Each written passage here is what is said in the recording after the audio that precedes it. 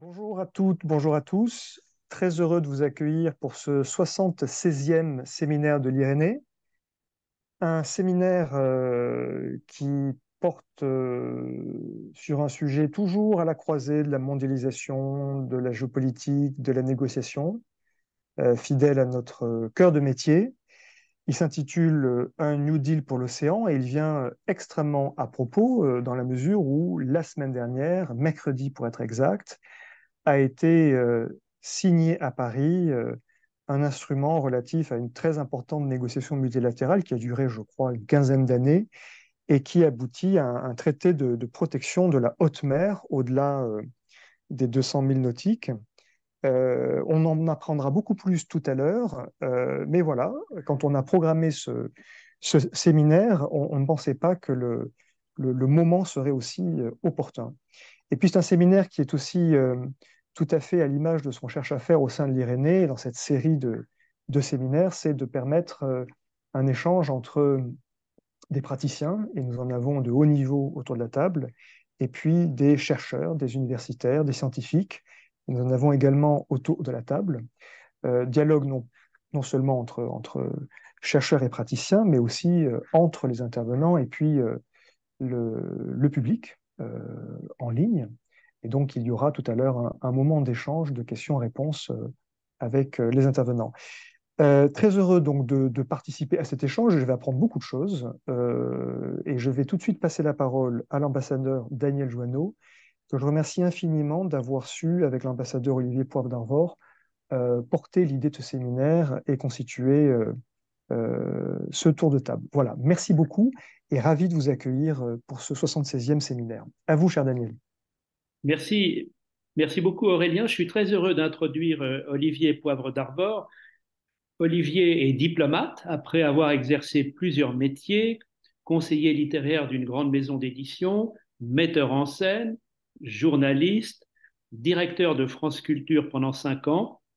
Il a été ambassadeur en Tunisie, mais il s'est toujours passionné pour la marine. Euh, breton d'origine, Olivier a consacré une dizaine d'ouvrages à l'aventure maritime. Euh, Olivier préside depuis neuf ans le Musée national de la marine et depuis trois ans, il est ambassadeur chargé des pôles et des enjeux maritimes et c'est lui qui a été à la manœuvre quand s'est tenu à Brest en 2022 le premier euh, sommet international consacré aux océans alors que la France présidait l'Union européenne. Aujourd'hui, en plus de cette euh, fonction, Olivier Poivre d'Arvor est l'envoyé spécial du président de la République pour la conférence des Nations Unies pour l'océan, dont il va nous parler sous le titre L'océan, ultime frontière. Merci euh, Aurélien, merci euh, Daniel, merci à vous toutes et à vous tous, merci à mes, amis euh, Marina, Tanguy, et Frédéric, que j'ai embarqué dans cette aventure. Vous avez de la chance de les avoir. Je suis vraiment heureux qu'une grande scientifique comme Marina Lévy puisse vous parler de ces sujets euh, sous un angle qui est celui de la recherche, qui est essentiel, central. Sans les scientifiques, nous ne, pourrions pas penser l'océan. Je suis très heureux que Frédéric, qui est le, patron des patrons, enfin pas, c'est pas exactement le terme, enfin président du cluster maritime français, aujourd'hui aussi euh, dans le domaine de l'environnement et de la protection du, littoral, président de la Cité de la Mer à, Cherbourg, qui est une, autorité euh, et un ami, et euh, qui pourra vous parler de ces sujets sous un angle évidemment économique et, et, aussi stratégique. Et puis évidemment aussi un héros, en fait, qui est un ami, mais Tanguy. Euh, Tanguy, euh, euh, c'est l'homme qui a conduit la délégation française à New York lors de la dernière réunion des Nations Unies consacrée à ce qu'on appelle le traité de la haute mer et conduisant la délégation française au sein de, de l'ensemble européen. Tanguy a passé quelques nuits blanches qui lui ont permis de savourer le succès de la communauté internationale qui, en mars dernier, a avalisé en quelque sorte ce traité de la haute mer dont il saura nous parler et dont les premières signatures des États qui, confirment leur engagement ont eu lieu récemment, alors, non pas à Paris, beaucoup de choses se passent à Paris, mais à New York. Euh, euh, cette, euh, la semaine, enfin la semaine dernière, Catherine Colonna et Hervé Berville ont signé au nom de la France d'ailleurs ce, ce, traité. Et il faut qu'il soit ratifié. Mais tant qu'il saura nous en parler. Bah, bonne idée évidemment de parler de sujet, mais pas parce que ça m'intéresse. C'est bonne idée parce que, parce que la mer monte, parce que la mer se réchauffe et parce que la mer se fâche. Voilà. Et je reviens de, Bizerte euh, hier euh, en Tunisie et, nous avions au forum de Bizerte avec Pascal Ami un, un, séminaire consacré à la Méditerranée, euh, à quelques encablures de la Libye et de Derna, pays voisins. Et je crois qu'il n'y avait pas meilleure illustration, hélas, de cette rencontre de plus en plus complexe qui s'annonce pas prophète de malheur, mais je, préfère dire les choses telles qu'elles sont, quand on le sait, euh, quand on, on l'entend des scientifiques, quand on le voit des politiques, euh, de cette rencontre funeste entre l'océan et, les hommes qui se préparent. Pour deux raisons. Une raison euh, que vous connaissez bien, c'est que les effets du changement climatique ont un effet sur l'océan, la santé de l'océan évident, l'océan plus de carbone, l'océan fournisseur d'une partie très importante de notre oxygène. Enfin, tout cela est connu, mais l'océan si important, si 71% de la surface du globe, mais beaucoup plus en fait si on calcule l'ensemble hydrosphérique, qui me paraît le bon ensemble euh, à considérer. Cet ensemble hydrosphérique, c'est l'océan plus les pôles, l'Antarctique, une partie d'eau douce, 80% de la réserve d'eau douce au monde, et puis l'ensemble hydrographique qui est constitué par les fleuves, les zones humides, et ça représente 80% de la surface du monde. Et, et, évidemment, euh, par l'effet du réchauffement, en Arctique notamment, avec un réchauffement de 3 à 4 fois plus euh, important que dans le reste du monde, ce que nous voyons aussi évidemment dans le domaine euh, de l'Antarctique, et puis la situation des glaciers, dramatique. en 2050, la moitié des glaciers du monde auront disparu. En 2100, tous les glaciers du monde auront disparu, avec des conséquences évidemment considérable sur euh, l'approvisionnement en eau douce, l'agriculture, la production d'électricité pour un milliard, un milliard 500 millions de personnes. Donc ce système-là est en train de s'effondrer. La cryosphère s'effondre. Ça sera d'ailleurs le sujet d'un One Planet Polar Summit que, nous organisons du 8 au 10 novembre à Paris 23 cette année, euh, à la demande du président de la République, une quelconque suite de ce que tu évoquais, Daniel, ce One Ocean Summit ce système de l'hydrosphère que nous allons essayer de considérer en invitant les 40 pays touchés par, euh, euh, euh, la question des pôles et des, glaciers. Cet effondrement est évidemment dramatique. Il est la raison pour moitié de l'élévation du niveau de la mer, puisque la fonte du Groenland et, un tout petit peu des glaciers et de l'Antarctique, de l'inlandise de l'Antarctique, est la raison pour moitié l'autre moitié étant le réchauffement des eaux. Marina pourra me, contredire ou préciser, euh, évidemment, si je me trompe, euh, la raison de l'élévation du niveau de la mer. Élévation dont, très honnêtement, il faut imaginer qu'elle ne sera pas de quelques centimètres, mais plutôt d'un mètre et d'un mètre un peu plus euh, à la fin de ce siècle, ce qui impactera naturellement, malheureusement, naturellement, mécaniquement, plus d'un milliard de personnes sur ces zones côtières. Donc, premier élément, c'est que ça va mal. Euh, ça va mal et on voit bien, le réchauffement, par exemple, de l'eau en Méditerranée, euh, pour ceux qui y étaient cet été, on l'a pu le vivre, mais encore de manière très confortable, comparé évidemment aux, infortunés euh, amis libyens qui, d'une tempête qui, est née, je crois, de l'évaporation de la vapeur, de la vapeur d'eau, parce que l'eau était plus chaude, en Grèce, en Turquie, dans cette région du monde, en Jordanie aussi. Bah, cette vapeur a produit, avec l'effet du vent, euh, une tempête, euh, une tempête euh, vraiment inédite complètement, qui est allée se fracasser et se transformant en tempête subtropicale, est allée se fracasser sur les côtes libyennes, à Derna, provoquant la mort assurée de 4000 personnes aujourd'hui et la disparition de 10 000 personnes. Un bilan terrible de au moins 10 000 disparus, 10 000 morts probablement, par un phénomène qui, qui est complètement inédit, en quelque sorte, en tout cas dans la mémoire de cette région, d'une tempête qui part de l'autre bout de la Méditerranée, qui traverse et qui vient frapper un pays qui ne s'y attendait pas la veille au soir. la météorologie nationale n'avait pas prévu ça.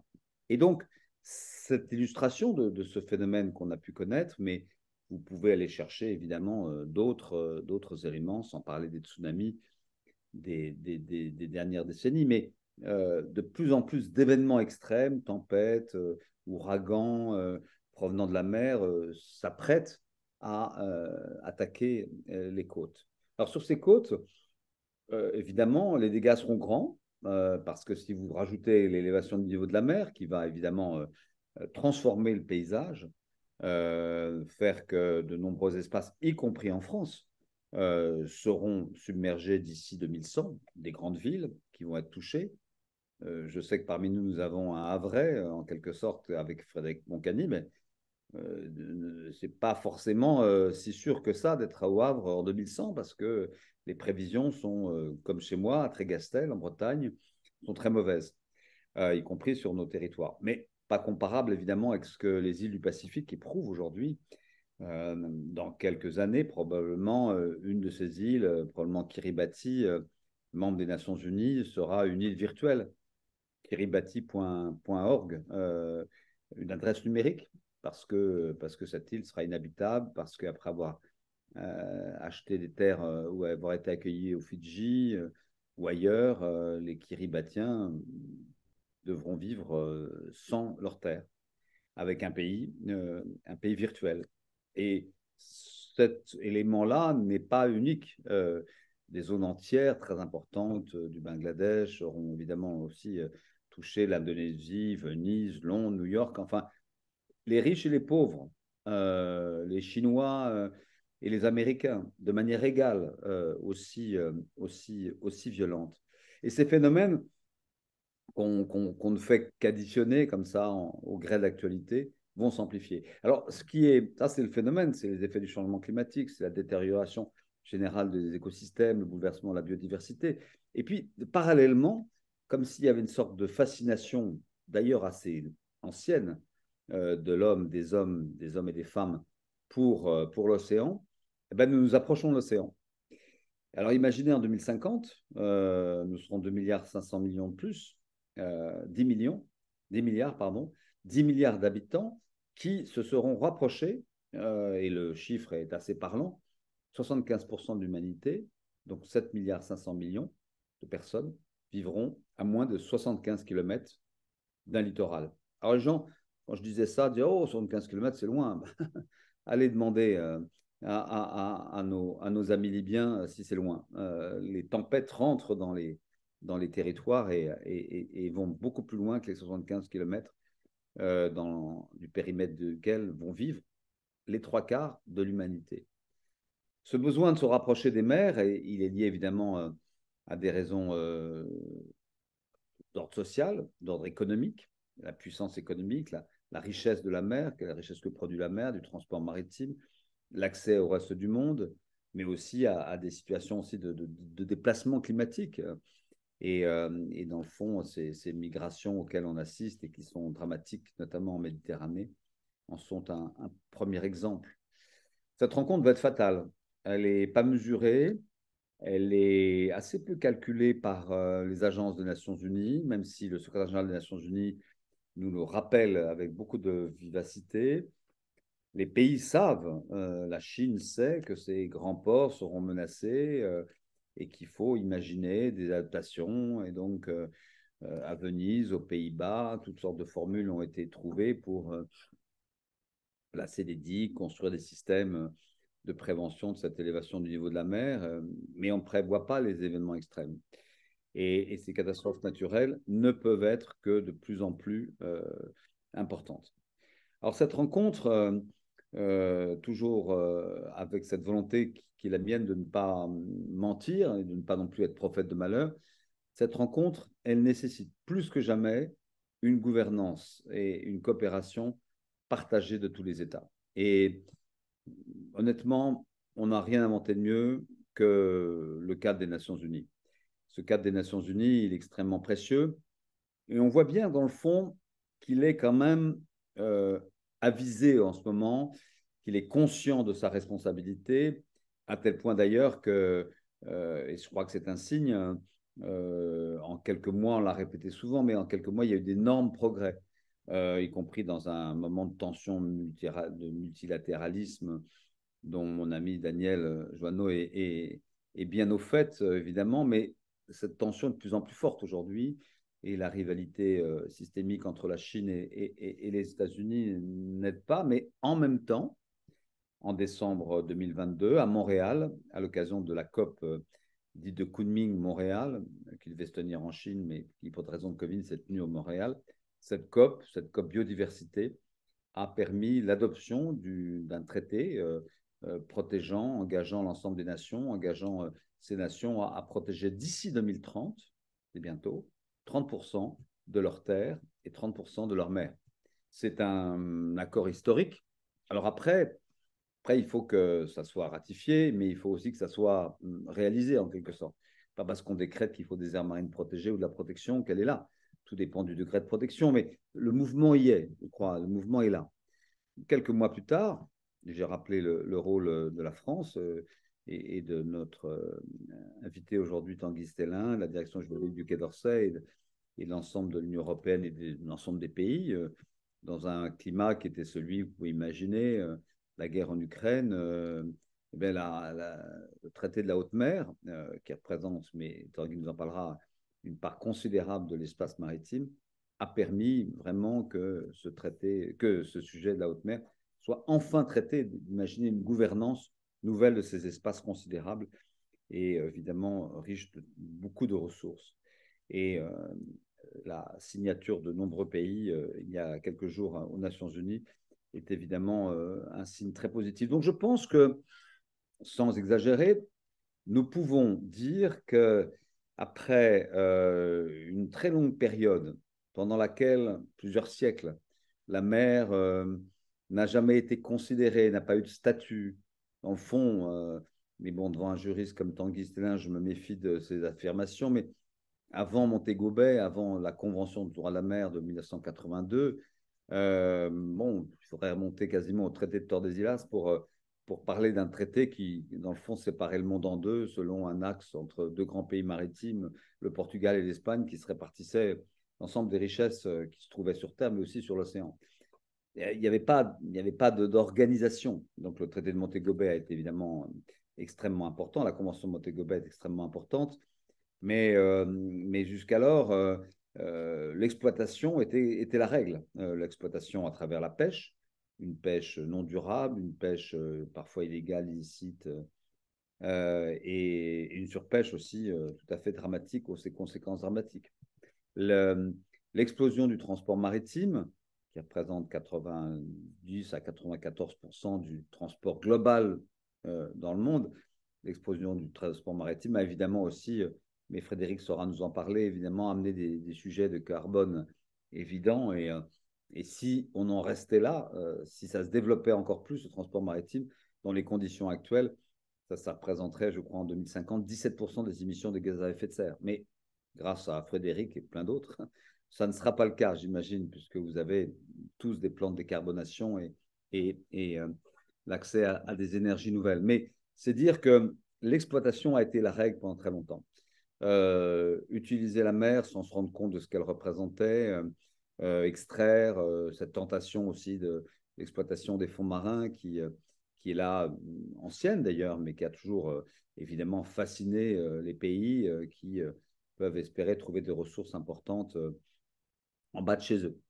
Et cette mer exploitée, cette mer pas considérée, cette mer, dans le fond, euh, euh, qui était réduite pour certains, les privilégiés à, la plage euh, l'été, et pour le reste du monde à un espace qu'on sillonnait.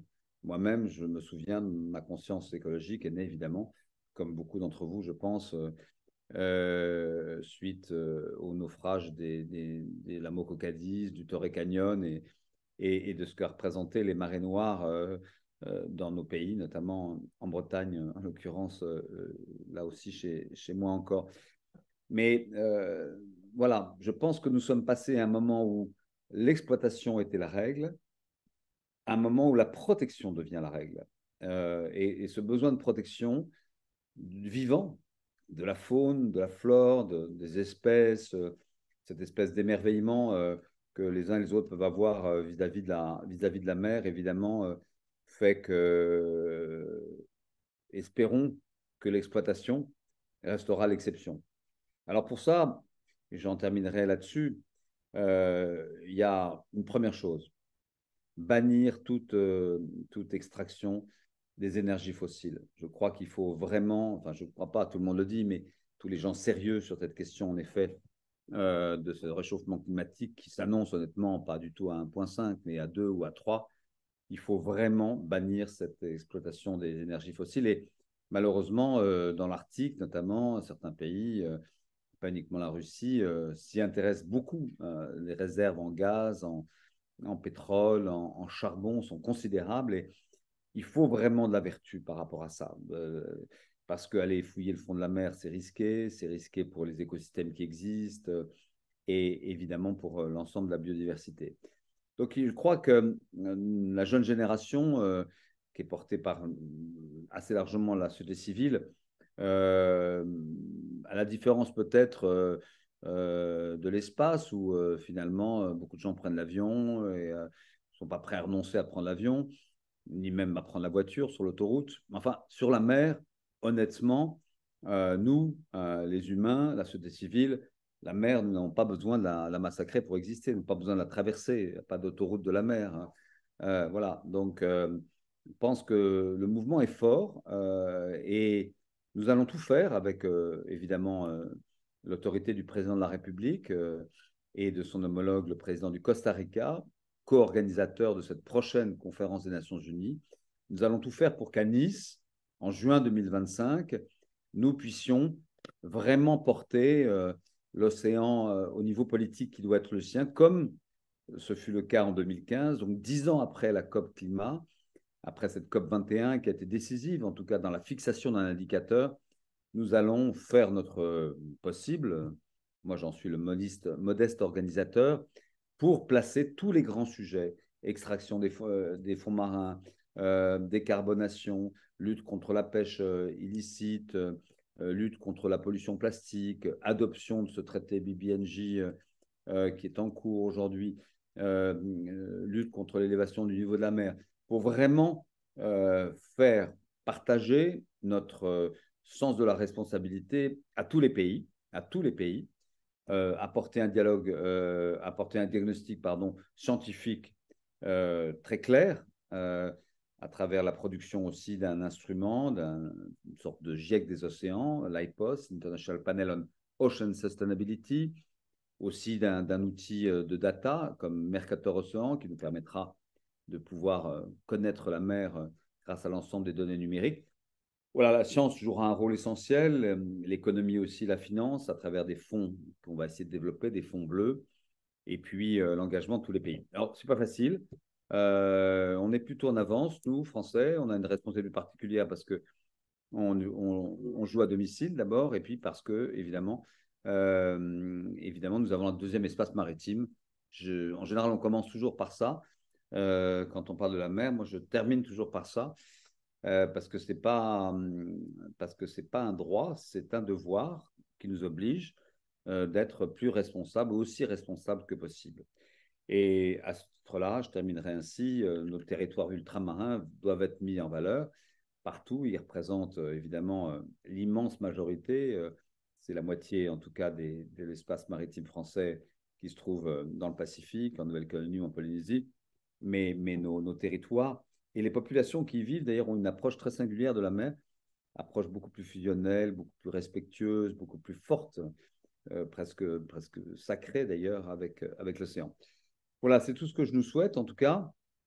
Sachez qu'on est à la manœuvre après le sommet polaire qui aura lieu donc euh, et glaciaire qui aura lieu mi-novembre à Paris.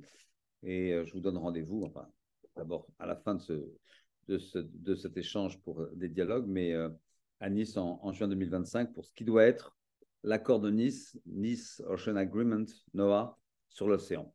Merci à vous. Merci, merci à toi, Olivier. Merci beaucoup. Nous allons écouter maintenant Marina Lévy. Marina Lévy est ancienne élève de l'école polytechnique, docteur en océanographie et climatologie. Elle est directrice de recherche au CNRS, médaille de bronze du CNRS et directrice adjointe d'un département de l'Institut de recherche pour le développement qui a pris au fil des dernières années une, une importance de plus en plus grande qui est le département des océans, du climat et des ressources. Euh, Marina, voulez-vous nous parler, nous présenter l'état des lieux sur l'état des océans et sur les risques associés au changement climatique? Bonjour, euh, bonjour à tous. Euh, merci beaucoup, Daniel Joanneau, de cette invitation et de, et de cette, cette opportunité d'être ici avec vous aujourd'hui pour, pour vous parler euh, d'un point de vue de, scientifique, d'océanographe des, océans et de vous montrer que tout ce que vient de nous présenter euh, Olivier Poivre d'Arvor est vraiment euh, étayé par la science avec une grande précision. Il a, il a vraiment, merci Olivier d'avoir parlé de, cet état des lieux et, et, de t'être appuyé sur tous ces résultats scientifiques.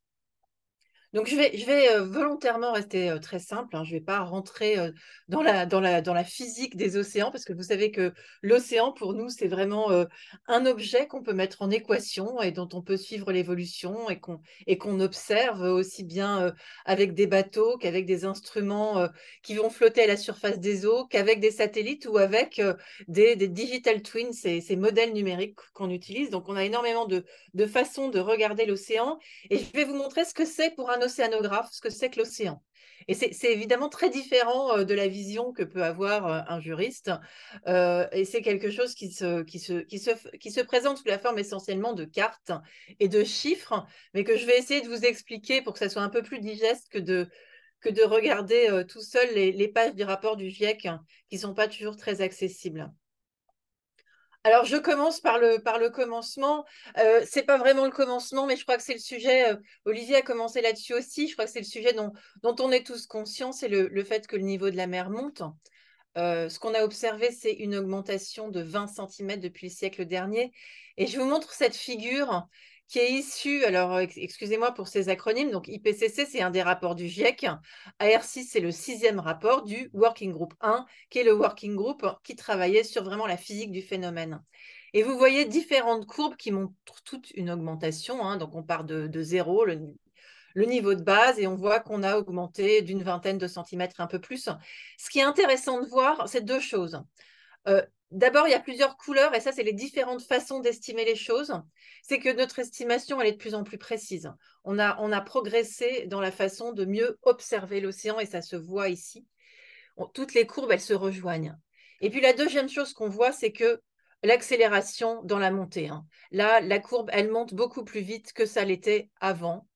Et ça, et ça effectivement, euh, je, je, je rejoins Olivier qui disait que l'élévation du niveau de la mer, c'est lié à deux choses. D'abord, c'est quand, quand il fait chaud, l'eau se dilate et donc elle prend plus de volume. Le volume de l'eau augmente. Et puis la deuxième chose, c'est la, fonte des glaciers qui fait qu'on on rajoute de la quantité d'eau. Et cette augmentation, euh, ce, que, ce, que, nous disent euh, les dernières études, c'est que ça serait lié vraiment à une accélération de la fonte des glaciers. Donc c'est ça, ça ce qui semble arriver. Alors 20 cm, est-ce que c'est beaucoup, est-ce que c'est pas beaucoup? Ce qu'il faut voir, et, c'est ça aussi qui, est important, c'est qu'il euh, y a deux choses. Il y a d'abord le niveau absolu, c'est juste 20 cm ou 30 cm. Et puis il y a aussi le fait qu'il va y avoir au plus de ça des tempêtes, ce qu'on voit dans l'image du bas ici, et que plus le niveau de la mer est haut, plus il va y avoir des surcotes importantes. Et c'est vraiment ce phénomène de combinaison entre l'élévation du niveau de la mer et les tempêtes hein, euh, qui, est, euh, qui est préoccupant. Alors, deuxième effet euh, de, l'homme et, des changements en cours dont tout le monde a entendu parler, hein, c'est les récifs coralliens qui sont en danger. Hein. Ça, on le sait, 20% qui ont déjà disparu, 20% en danger, 75% qui sont dégradés. On a une disparition de la 50% de la barrière de corail en 30 ans. Ça, c'est lié en grande partie à l'augmentation de la température des eaux et une deuxième partie, c'est lié à l'augmentation de l'acidification euh, des océans. Alors. Voilà, donc l'augmentation de la température, ça aussi, c'est quelque chose dont c'est difficile de ne pas être au courant. Elle, elle, elle, apparaît sur les terres, sur les continents et sur les océans presque partout sur les océans. Vous voyez, quand c'est rouge, euh, ça veut dire que euh, la température euh, a augmenté depuis 1901, entre 1901 et 2012. C'est une carte un peu ancienne, mais c'est encore pire aujourd'hui. Vous voyez que dans les océans, c'est presque partout rouge, sauf, cette petite zone là dans l'Atlantique, où cette tache bleue, elle préoccupe beaucoup les scientifiques, mais ça serait lié à un ralentissement de la circulation dont je reviendrai après. Mais ce qui est important de voir, c'est ces deux courbes ici où on voit, on mesure, on a mesuré l'augmentation de température. Là encore, depuis, depuis l'ère pré-industrielle, euh, sur Terre, donc en rouge, et dans les océans en bleu. Donc ça a augmenté un peu moins dans les océans que sur les continents, mais malgré tout, on a une augmentation qui est significative et qui se détache du niveau de base. Vous voyez qu'il y a des petites oscillations, hein. ça c'est la variabilité euh, naturelle du, climat d'une année sur l'autre sur, la planète, euh, et que le signal qu'on appelle le signal anthropique, donc le signal lié au réchauffement climatique, a une amplitude vraiment supérieure maintenant à la variabilité naturelle, ce qui n'était pas le cas euh, dans, les années, au, début du commencement, on commençait à parler du changement climatique, c'est-à-dire euh, dans les années 90-2000. Vous voyez ici euh, le, début du, réchauffement. On ne pouvait pas vraiment encore le détacher du bruit, alors qu'aujourd'hui, on est vraiment dans un signal qui se détache énormément du bruit naturel. Donc, on a une, certitude euh, très forte sur ce changement euh, climatique et qui est en plus euh, étayée par la physique du phénomène qu'on a parfaitement comprise. Alors, associé à ce réchauffement, il y a des événements extrêmes de plus en plus fréquents, de plus en plus étendus et de plus en plus intenses. Euh, Olivier a parlé de, ces vagues de chaleur euh, marine qu'il y a eu en Méditerranée euh, cette année et l'année précédente et dans l'Atlantique. Vous voyez celle-ci, c'est celle de l'année dernière. Vous voyez son étendue qui est absolument extraordinaire. Donc tout ce qui est rouge, c'est vraiment quand les eaux sont extrêmement chaudes, ça veut dire qu'on est à plus de 4 degrés des températures d'eau de surface au-dessus des normales saisonnières. Et ici, vous voyez qu'il y a eu, en fait, si on regarde, on cumulait toutes ces vagues de chaleur, un doublement sur 40 ans avec euh, des, larges zones de l'océan qui sont euh, affectées par ces vagues de chaleur et un impact important sur les écosystèmes, euh, les gorgones, les éponges, enfin toutes sortes d'écosystèmes qu'on va trouver au fond des eaux. Et on a pu observer ça de manière très précise ces dernières années. Alors, les événements extrêmes dont vous avez aussi entendu parler, il y a eu une série dans le monde cet été qui était, fabuleuse et qui parlait de ça, et en particulier du phénomène El Niño. Euh, le phénomène El Niño, c'est un phénomène qu'on retrouve dans le Pacifique. On le voit ici avec cette langue d'eau chaude qui couvre une grande, grande partie du Pacifique et qui va être associé avec des pluies intenses euh, au large du Pérou et de l'autre côté de l'Atlantique, euh, une extrême sécheresse euh, en Somalie, en Éthiopie, une situation euh, d'urgence en matière alimentaire. Et donc, ces, ces, événements El Niño, qui sont des, des oscillations naturelles du climat, le risque, c'est qu'ils soient plus intenses et plus fréquents. Alors. L'océan devient plus acide, ça c'est lié au fait qu'il absorbe plus de CO2. Une acidité qui a augmenté de 20 à 30% et une faible tolérance de certains coquillages et coraux. Là, je vous l'illustre ici avec euh, un coquillage qui se porte très mal quand euh, on change le pH de l'eau. Donc le pH, c'est la mesure de, l'acidité. Euh, un, exemple également que, que j'aime présenter, c'est la récolte artisanale de coquillages en Afrique de l'Ouest, qui est en fort déclin. C'est une culture millénaire qui est pratiquée par les femmes et une baisse des prises de 50%. Alors là, c'est pour dire qu'on n'a pas compris pourquoi il y a ce déclin. Et il faut qu'on détermine est-ce que c'est lié à plus d'acidité, est-ce que c'est lié au changement de température, est-ce que c'est lié à, une pollution. Donc là, c'est une recherche active pour comprendre certains processus qui sont, euh, qui sont observés et on ne comprend euh, évidemment pas tout encore. Donc on fait encore beaucoup de recherches sur, euh, sur ces phénomènes. L'océan perd de l'oxygène. Ça, c'est lié en grande partie au réchauffement. Euh, plus les eaux sont chaudes, moins elles peuvent dissoudre de l'oxygène.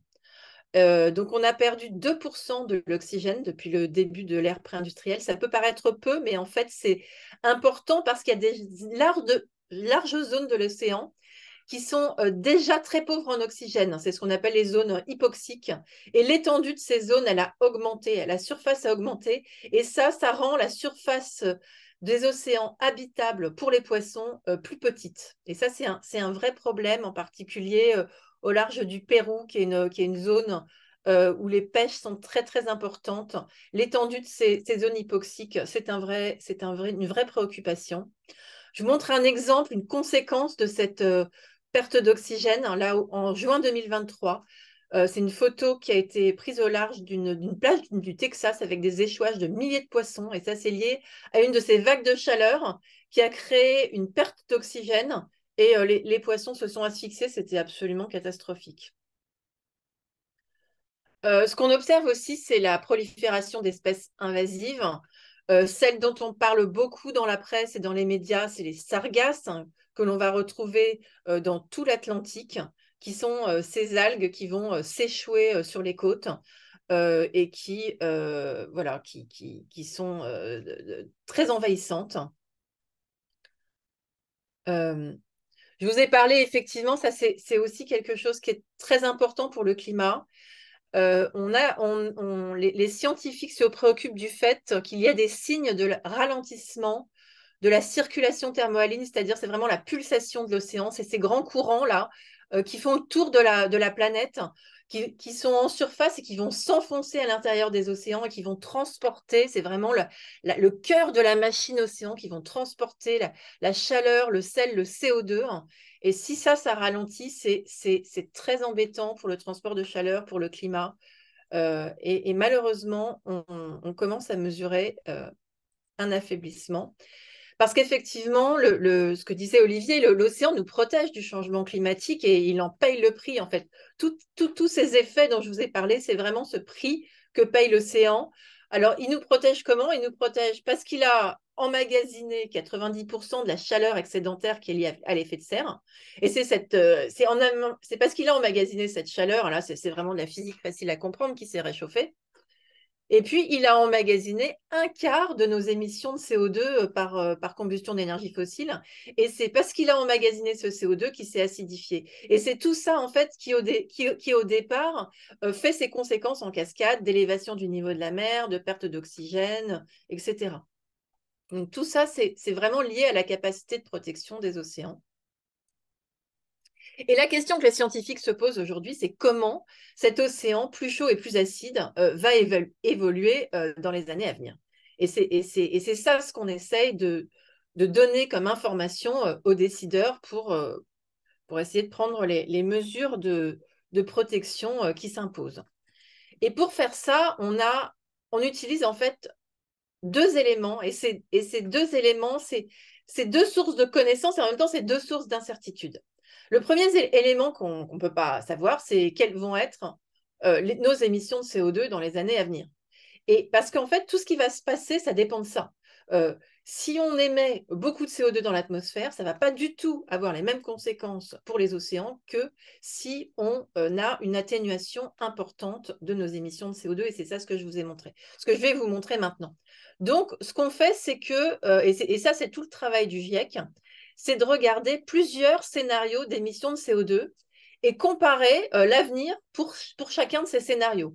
Donc là, il y en a quatre. Hein. un scénario bleu avec une, atténuation importante. Donc ça, c'est les, les, émissions aujourd'hui. Donc voilà, on diminuerait nos émissions jusqu'à arriver aux émissions zéro. Et puis un scénario, le scénario un peu du pire, avec des émissions qui continuent euh, d'augmenter. Euh, au, cours, au cours du siècle. Et puis après, des scénarios un petit peu intermédiaires. Et on met ces scénarios dans des modèles de climat. Alors, les modèles de climat, c'est vraiment des équations physiques euh, qu'on résout de manière mathématique dans des ordinateurs euh, sur des grilles et qui vont euh, nous donner des projections de ce qui va se passer dans l'avenir. Et je vais vous montrer un exemple de ça. Alors, ces modèles, on, leur donne en fait toutes nos connaissances. On agglomère l'état des connaissances, mais évidemment, on ne connaît pas tout. Euh, le système est extrêmement complexe. Donc, il reste toujours une part d'incertitude dans ces, modèles. Et là, je vous montre, euh, je vous montre ces deux types d'incertitude. L'incertitude liée au scénario versus l'incertitude liée à notre connaissance. Et c'est bien important de comprendre ce que ça veut dire Alors là, c'est l'élévation de la température à la fin du siècle, voilà, entre 1950 et 2100. Donc ça, c'est la période qu'on a déjà observée, là, en blanc. Et puis là, on va, on va rentrer, dès que les courbes deviennent colorées, on rentre dans les projections, on rentre dans les scénarios, et chaque couleur correspond à une émission de CO2 différente. Donc, on voit bien le scénario du pire, là en rouge foncé, où on a euh, des augmentations de température euh, qui dépassent les 5 degrés. Et puis, euh, le scénario de mitigation, où on a une augmentation de la température qui est maintenue à 1,5 degré. Et par contre, ce que vous voyez, si vous regardez à l'intérieur d'une couleur, là, c'est l'incertitude de la connaissance de la physique des océans. Donc, vous voyez que on voit bien que selon le scénario, plus on fait d'efforts, plus ça augmente.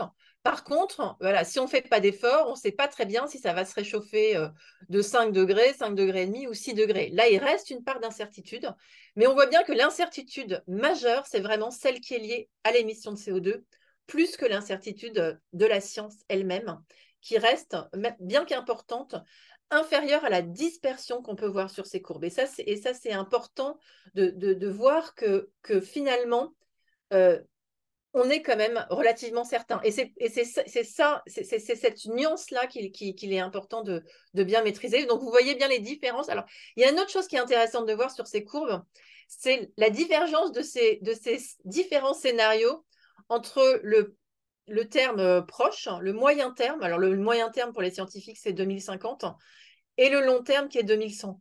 Vous voyez que dans les années à venir, en fait, euh, euh, je dirais presque tout est joué. Les courbes, elles sont, elles sont très proches. Et ça, en fait, ça, ça dépend beaucoup des émissions de scénarios qu'il y a déjà eu par le passé. Et c'est vraiment dans le moyen terme et surtout dans le long terme que ça va dépendre de ce qu'on fait aujourd'hui. Et donc, toutes les émissions qu'on va faire aujourd'hui, l'effet le, plus important qu'il va avoir, en fait, c'est dans cette période-là où les courbes vont commencer à diverger. Donc, il faut bien avoir conscience du fait que les, les décisions qu'on prend aujourd'hui, elles n'ont pas vraiment un impact visible sur le court terme. Elles vont vraiment avoir un impact visible euh, plus on s'éloigne dans le temps. Là, je vous montre la même chose, mais pour l'élévation du niveau de la mer. Donc, on voit, on voit la même chose, hein, grosso modo. Et on a rajouté cette courbe-là, euh, pointillée. Et là, c'est qu'est-ce que ça représente? Ça représente en fait euh, un scénario très peu probable. Ce très peu probable, il est, il est lié au fait que sur l'élévation du niveau de la mer, il y a une grosse incertitude sur la science et qu'on ne sait pas très bien comment les glaciers vont fondre, parce que ça, c'est une physique qui est très compliquée. Et donc, on ne sait pas s'il va y avoir un emballement ou pas. Et s'il y a un emballement, eh ben c'est ça qui, risque d'arriver, c'est-à-dire une élévation. Voilà. Donc vous voyez, à la fin du siècle, on arrive presque à un mètre dans le scénario du pire, mais là, on peut monter, euh, on peut monter à 4-5 mètres hein, dans ce scénario très peu probable, mais qu'on ne peut quand même euh, pas ignorer. Hein. Euh, c'est un peu comme si on vous disait que vous avez 1% de chance d'y passer. Ben, ce 1%, ça vous préoccupe quand même.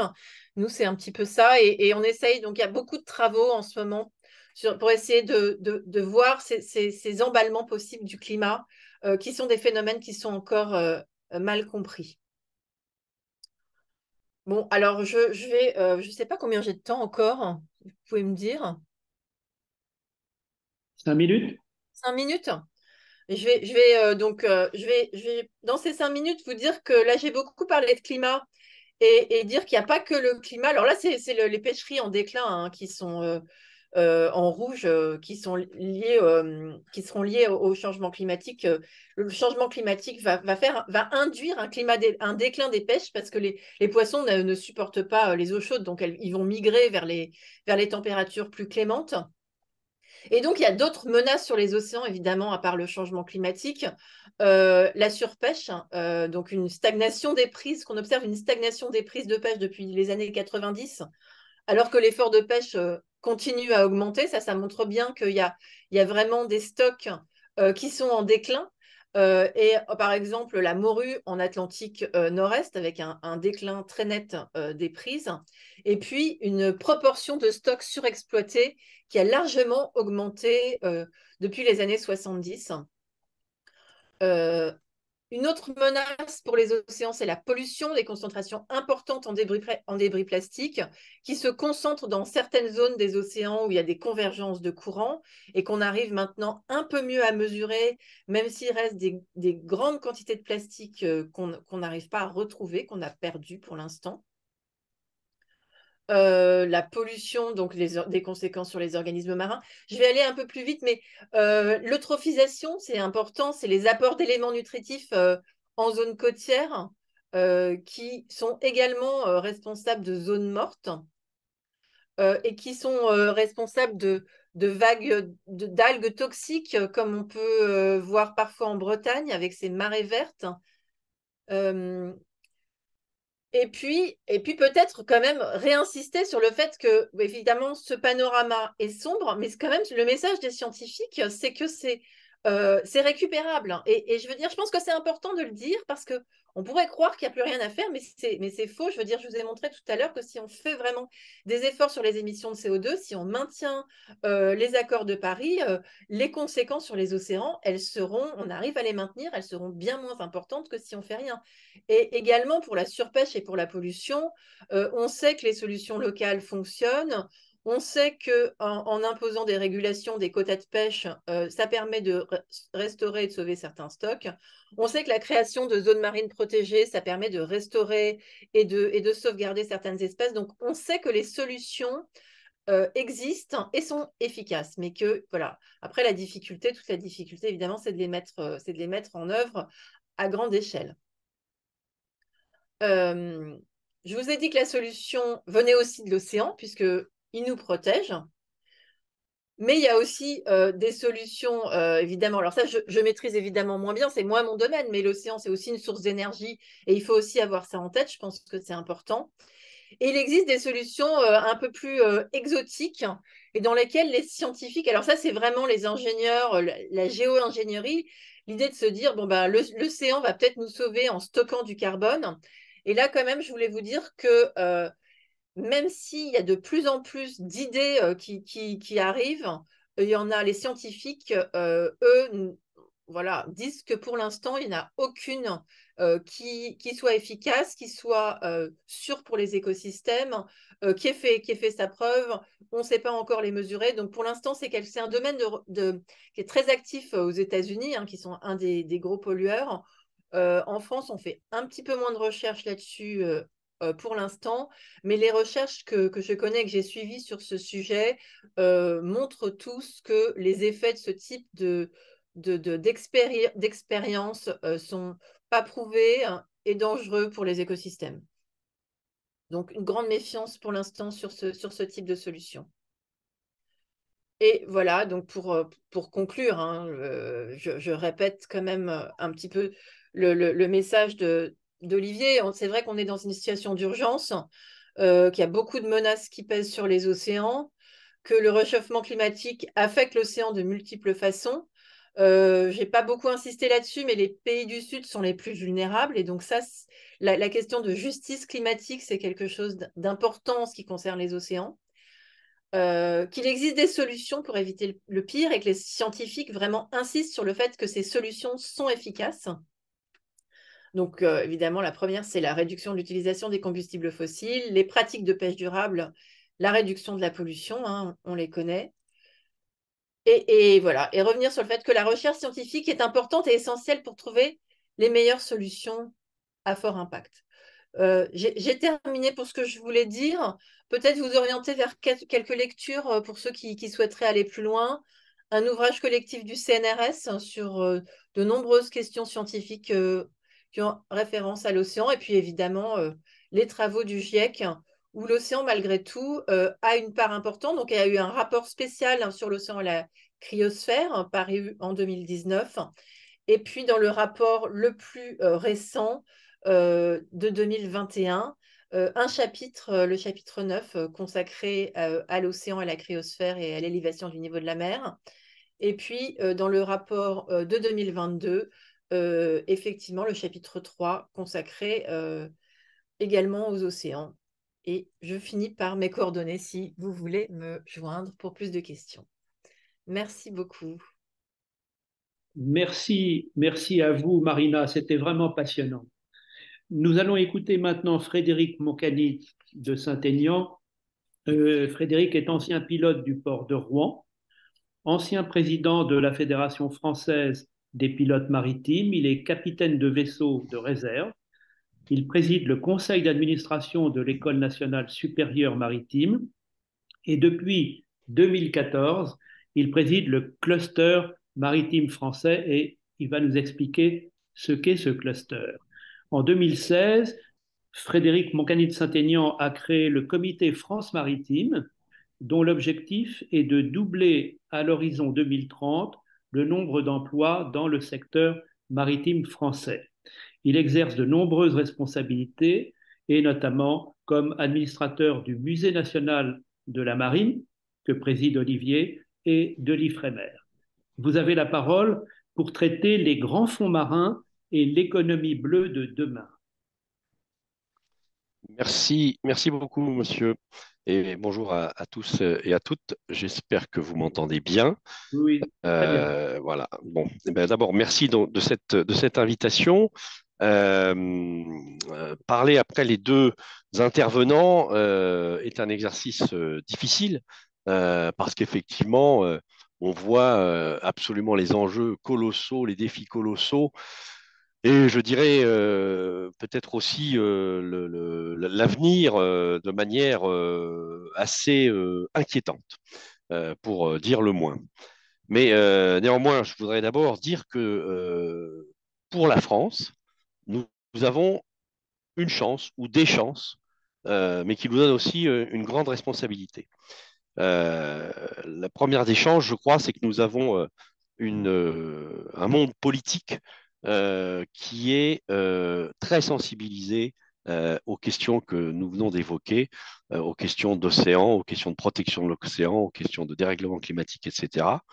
Et, j'en veux pour preuve d'abord l'organisation du One Ocean Summit par le président de la République il y a maintenant un an, un peu plus, qui va déboucher sur la conférence des Nations Unies en 2025 en juin. Tout ceci étant, euh, euh, comment dire, euh, maîtrisé, organisé par Olivier Poivre d'Arvor, que je salue, parce que nous avons aussi beaucoup de chance d'avoir cette personnalité au premier plan de nos enjeux maritimes et océaniques. Bien sûr, euh, nous avons et nous sommes l'un des rares pays à avoir euh, un ministre de la mer ou un secrétaire d'État chargé de la mer auprès de la Première ministre, donc qui, là encore donne la mesure des enjeux et, euh, sa présence aux côtés de la ministre Colonna lors de la signature du BBNJ, comme vous l'avez mentionné tout à l'heure, en est un exemple parlant. Et puis nous avons des acteurs, des acteurs de premier plan dans tout ce qui concerne l'océanographie avec un, euh, grand O, euh, bien évidemment l'IFREMER, toute la on a la première flotte océanographique au monde si l'on euh, considère que celle-ci est, coordonnée par l'IFREMER. Nous avons de grands chercheurs, de grands savants. Tout à l'heure, il vous a été présenté notamment l'ouvrage où Françoise Gaille a, contribué. Donc nous avons vraiment cette chance, mais qui nous donne aussi cette responsabilité d'être quelque part la nation euh, euh, en pointe, leader euh, sur ces questions d'océan, de, maritimisation, d'économie maritime, de résilience. Et c'est ce que je voudrais maintenant montrer un peu plus. le cluster maritime français, vous l'avez évoqué, que je préside maintenant depuis 2015, réunit près de 500 euh, acteurs industriels et compagnies, euh, entreprises de l'économie maritime dans toute sa diversité, que ce soit le transport, que ce soit les ports, que ce soit la construction navale, que ce soit la plaisance, la pêche, mais aussi les avocats, les banquiers, les centres de formation, et, j'en oublie bien évidemment. Euh, et la marine nationale, qui est un acteur extrêmement important aussi sur les enjeux de climat et sur les enjeux d'océan. Euh, et euh, avec ces, 500 euh, membres, nous avons trois axes de travail, qui est un, axe de travail de synergie, les faire travailler ensemble sur des sujets, et notamment sur des sujets innovants. Et on va voir combien l'innovation est importante pour répondre aux enjeux qui ont été soulignés à l'instant sur par Marina sur les questions de. on peut encore y arriver, c'est pas trop tard, donc on va voir combien l'innovation est, importante là-dedans. nous avons bien évidemment alors, donc, je disais des, actions de synergie, des actions de communication institutionnelle pour faire comprendre euh, à nos dirigeants, qu'ils soient économiques, qu'ils soient euh, euh, politiques ou qu'ils soient réglementaires, l'importance de cette économie maritime et le levier de croissance, mais aussi de développement durable qu'elle peut, qu'elle doit constituer. Et puis, euh, troisième, troisième sujet, bien évidemment, c'est de euh, faire euh, avancer de, manière générale les, les, les, sujets qui nous concernent, mais toujours dans un souci de, développement durable. et c'est ce que je vais essayer de, montrer maintenant, si, si, vous en êtes d'accord.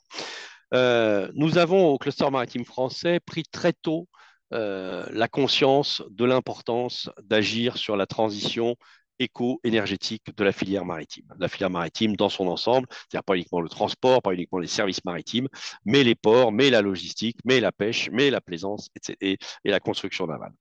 Et c'est, euh, je dirais, en, suivant les pas euh, que le président de la République avait initiés en 2018 lors du G7 à Biarritz, où il a pour la première fois, je crois, mis sur la scène du G7 les questions d'océan euh, et appelé à des coalitions, euh, appelé à des coalitions de différents euh, secteurs, de différents acteurs. Et nous avons créé la, coalition pour la transition éco-énergétique du maritime, regroupant des grandes compagnies, regroupant des organisations professionnelles, regroupant des scientifiques, regroupant des, centres de recherche pour eh bien, un peu faire un état des lieux euh, quels sont les enjeux, quels sont les impacts, quelles sont les connaissances, euh, pour ensuite euh, en, sortir un rapport, rapport qui, qui, est sous le tampon de l'ADEME et qui ne devrait pas tarder à sortir, il est un petit peu long, et puis également voir comment on s'organise plus précisément pour aller vers cette décarbonation de l'industrie maritime au sens large. Et cette première étape nous a conduite à deux actions. Euh, la première, c'est de co-rédiger avec la Direction générale des affaires maritimes, de la pêche et de l'aquaculture, une feuille de route de décarbonation de la filière maritime. Celle-ci a été remise euh, au ministre Berville et Beaune euh, au mois d'avril.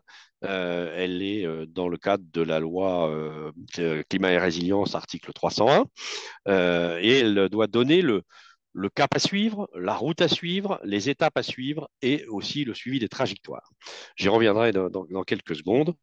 Et puis, euh, deuxième euh, initiative, euh, ça a été de créer, et maintenant c'est effectif depuis la mi-juillet, un institut de transition éco-énergétique du maritime qui s'appelle MIT 2050, MIT pour Maritime Ecological Energy Transition, et qui soit le centre d'expertise pour savoir quels sont les leviers les plus efficaces, quels sont les sujets les prioritaires, quels sont les atterrissages en fonction justement des leviers et des sujets. Et là-dessus, nous avons développé un, outil Cap 2050 qui, euh, un peu à l'image de ce que vient d'être présenté euh, par, euh, Marina, montre bah, en fonction des efforts qui sont faits ici ou là, dans tel secteur ou dans tel segment du transport maritime ou des services maritimes, l'impact sur la réduction des gaz, d'émissions de, gaz et, et de CO2. À ce sujet, dans la feuille de route, sans, la détailler, mais vous la trouverez sur le, site du ministère, euh, sans, détailler, nous avons identifié quatre euh, leviers principaux euh, qui sont d'abord les carburants alternatifs, c'est-à-dire effectivement passer du, carburant zéro carbone, arriver au carburant zéro carbone.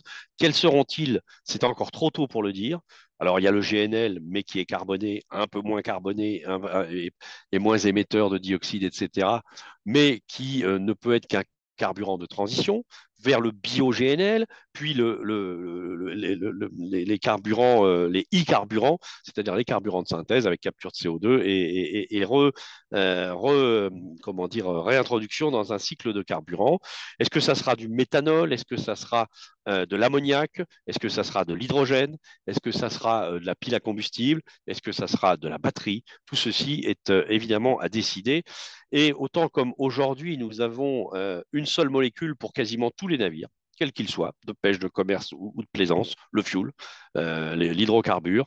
Demain, nous serons amenés à avoir des propulsions différenciées selon l'utilisation du navire, la taille du navire, le parcours du navire, euh, et ce qui, euh, dans le monde armatorial, est une grande révolution. Aujourd'hui, il faut voir que vous faites construire un navire pour 20, 25 ans, 30 ans, et qu'il doit pouvoir aller dans le monde entier euh, sur des, parcours est-ouest, des parcours nord-sud et euh, transporter euh, diverses, diverses marchandises. Demain, ça ne sera sans doute plus possible.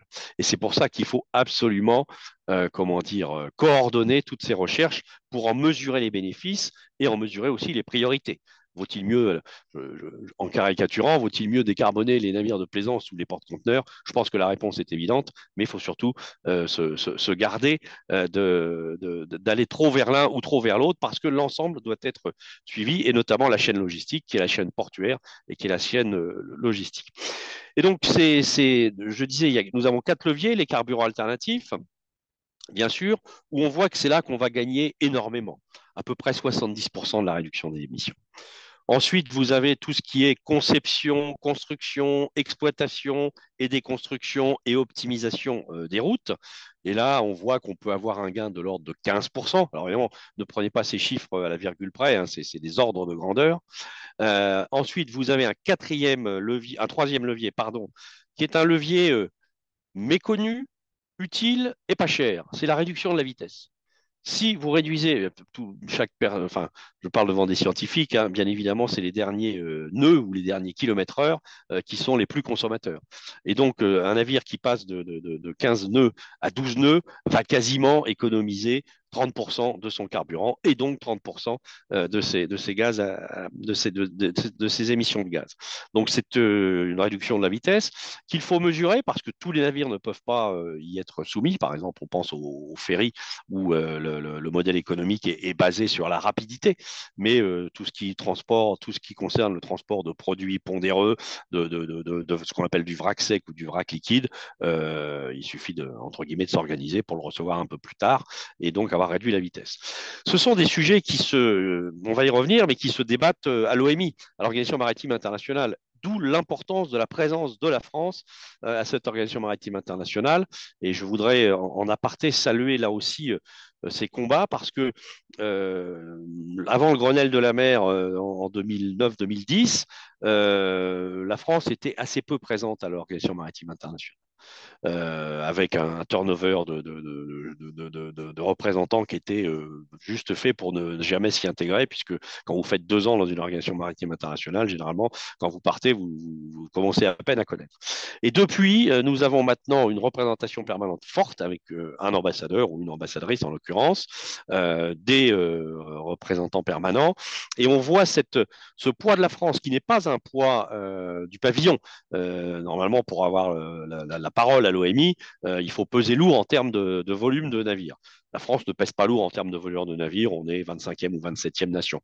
Mais on pèse lourd pour tout ce que je viens de dire tout à l'heure sur la gouvernance et sur euh, l'implication de, celle-ci. Donc la réduction de vitesse, c'est un sujet qui doit être traité à l'OMI euh, et je ne vous le cache pas, c'est la France qui le porte, mais beaucoup de pays y sont plus opposés pour des, pour des raisons diverses, mais, majoritairement euh, la liberté des maires et donc euh, déjà mettre une contrainte sur la réduction de vitesse et puis après comment on la vérifie parce que là aussi c'est un autre sujet, c'est euh, un autre débat et puis il y a aussi bien évidemment les intérêts pétroliers qui sont, qui sont toujours derrière. Et puis, le dernier levier, hein, la, réduction de vitesse, j'ai dit, c'est à peu près de l'ordre de 10%. Et le dernier levier, bah, c'est ce qu'on appelle la propulsion vélique, qui est en train de se développer, pour laquelle la France est, très, très en avance, euh, puisque nous sommes euh, le premier pays à avoir un navire qui flotte aujourd'hui et qui est assisté par des turbovoiles. Il s'appelle le Canopé. il est affrété par Airbus et pour, pour transporter les, les, éléments de, de, la fusée vers, vers la Guyane. et nous avons deux ou trois projets en cours là-dessus, Neoline, Tote, enfin, et j'en passe. Et donc, c'est un, un sujet là aussi où où ça nous permettra de gagner encore 10%. Alors, à chaque fois, ce n'est pas des révolutions, mais si on arrive à gagner 10%, 15%, 20%, etc., on voit combien, euh, à la fin, ça, à la fin, ça, fait, ça fait un, point très important. Ceci dit, il ne faut pas que la France soit seule, il ne faut pas que l'Europe soit seule. On a quand même la conscience qu'il euh, y a des portions de, de continents sur la planète où euh, l'implication n'est pas là. Euh, même en Europe. Et donc, il est, nécessaire de, mobiliser et de bouger en européen. Euh, je ne l'ai pas dit, mais, le cluster maritime français fait partie du réseau des clusters européens, le European Network of Maritime Clusters, et euh, j'en suis vice-président, et c'est un sujet que je porte régulièrement devant mes petits camarades, où tous ne sont pas forcément complètement alignés. Euh, voilà un petit peu sur de manière très large brosser l'activité du cluster et qu'est-ce que l'on est en train de faire sur les sujets de transition environnementale, de décarbonation, euh, de biodiversité aussi, puisque nous avons un, groupe de travail qui, qui est mené conjointement par l'Office français de la biodiversité, par l'association Respect Océan et par le cluster pour assister les entreprises dans la mesure de leur impact, la capacité de réduire leur impact ou d'éviter leur impact. Euh, je voudrais maintenant faire, euh, dans la deuxième partie, et, avant de conclure, un, peu un focus sur les grands fonds marins, puisque euh, c'est le sujet de notre, de notre échange aujourd'hui. Alors depuis très longtemps, depuis quasiment 12 ans aujourd'hui, le cluster maritime français a monté un groupe de travail que l'on appelle un groupe de synergie sur les grands fonds marins, et pour dire les choses clairement, sur les minerais présents dans les grands fonds marins et les possibilités d'exploitation. Euh, ce, groupe de travail qui, réunit euh, des scientifiques, qui réunit euh, des industriels, qui réunit des océanographes, qui réunit le ministère des Affaires étrangères, qui réunit la marine, etc., est très actif. Il est piloté par mon prédécesseur et fondateur du cluster maritime français, Francis Valla, et nous et nous sommes, nous travaillons aussi conjointement avec les Allemands dans une alliance euh, puisque les Allemands ont eux aussi créé euh, un groupe de travail, les industriels allemands, un groupe de travail sur ces questions d'exploration et possiblement d'exploitation des grands fonds marins. Euh, ceci a été travaillé, a abouti en 2015 à une stratégie, la stratégie d'exploitation des grands fonds marins. et puis en 2021, ça a été repris. Et puis, et puis, et j'y viens, en 2022, euh, le président de la République, euh, le secrétaire d'État, Henri Berville, et d'autres, et, Olivier Poivre qui connaît parfaitement ce sujet et qui le travaille, euh, je dirais, en leader, ont décidé de ne pas aller vers l'exploitation tant que l'exploration n'aura pas pu montrer l'innocuité ou du moins le moindre impact de celle-ci. Euh, peut-être de manière surprenante, mais je vous l'annonce, le cluster maritime français a toujours été sur cette position, c'est-à-dire d'un moratoire conditionnel, et c'est ce qui est en train d'être travaillé euh, à l'Association internationale des fonds marins, euh, c'est-à-dire un moratoire qui soit conditionné par la science, qui soit conditionné par l'exploration. Aujourd'hui, on connaît 2%, on connaît 20% des fonds marins et 2% sur une unité, euh, sur une finesse métrique. Euh, il faut donc euh, intensifier cette exploration et c'est notamment le, sujet qui a été mis à l'ordre, enfin, dans le programme de France 2030 annoncé par le président de la République en octobre 2021, si je ne me trompe pas, où le dixième objectif, c'est l'exploration des fonds marins. Alors pourquoi l'exploration des fonds marins? Pourquoi le cluster s'intéresse-t-il à l'exploration? Parce que d'abord, euh, ça fait partie, je dirais, effectivement, du, mouvement de la société, mais c'est aussi pour nos industriels une chance euh, très forte de pouvoir mettre leur technologie, je pense euh, notamment, et c'était dans la presse ces jours-ci, à EK et XBlue, qui, avec l'IFREMER, ont mis Ulix à l'eau ce mois-ci et qui, pour la première fois, est descendu à 5900 mètres de profondeur en exploration, un drone, hein, bien sûr. Hein. et donc, c'est extrêmement important pour notre pays de, de continuer à développer l'industrie de l'exploration, même si on ne va pas à l'exploitation. Ça permet de connaître, ça permet de connaître les enjeux scientifiques, bien évidemment, ça permet de connaître les enjeux, je dirais, euh, industriels, euh, mais ça permet aussi, et, je voulais peut-être dire un mot là-dessus, euh, de, connaître les enjeux stratégiques. les fonds marins sont maintenant l'objet euh, de, des trois euh, espaces de conflit à venir. Euh, les trois espaces, c'est l'espace, bien évidemment, et on voit la guerre aux armements là-dessus. C'est le cyber, et on mesure l'ampleur des attaques cyber, et c'est les fonds marins. Et la marine, évidemment, extrêmement intéressée pour l'exploration des fonds marins et savoir un peu ce qui se passe, qu'est-ce qu'on y fait. Je crois que vous avez par exemple Nord Stream 1 et 2, ce sont des sujets qui ont montré que nous sommes sur des, sur, sur, des, sur des enjeux très très forts. D'ailleurs, il y a un comité ministériel qui a été monté là-dessus, auquel participent pardon, des industriels mais aussi le Corimer, hein, qui est l'instance euh, du comité stratégique de filière pour l'innovation, et par exemple, euh, en personnalité qualifiée, euh, l'amiral Bernard Rogel, que vous connaissez sûrement, qui est l'ancien chef d'état-major particulier du président, ce qui montre là aussi l'intérêt très très fort qui a été mis sur sur ces enjeux. Donc je le redis clairement, le cluster maritime français, avec ses partenaires, avec ses, ses entreprises, milite pour qu'il y ait un moratoire euh, conditionné par la science sur euh, l'exploitation euh, des, fonds marins. Et puis, et puis là aussi, sur les fonds marins, il y, a des nouveaux risques que l'on n'a peut-être pas mesurés, sur lesquels je ne vais pas m'étendre, mais que je voudrais citer quand même. et on a eu un exemple, hélas, il y a quelques mois. C'est le phénomène du développement des sous-marins civils pour promenade, pour expédition. Euh, pour trafic de drogue. Euh, et euh, c'est avec ma casquette de, président de la Cité de la Mer très récent que, c'est un sujet qui, qui, nous, qui nous préoccupe beaucoup. parce que quand on voit, et, et toute mesure gardée, le développement de la plaisance que ça a donné sur les impacts de réglementation, de risques accidentologiques, de trafic, etc., et on, peut, penser que le développement technologique et la connaissance des fonds marins, alors peut-être pas des très grands fonds, mais des fonds marins, euh, générera là aussi euh, une surfréquentation qui sera euh, génératrice de pillage, de risques environnementaux, de risques de sûreté et de risques terroristes. Et, là encore, on voit combien il est important d'avoir ces engins d'exploration de, manière à pouvoir surveiller l'ensemble de ces, périmètres qui sont évidemment extrêmement grands.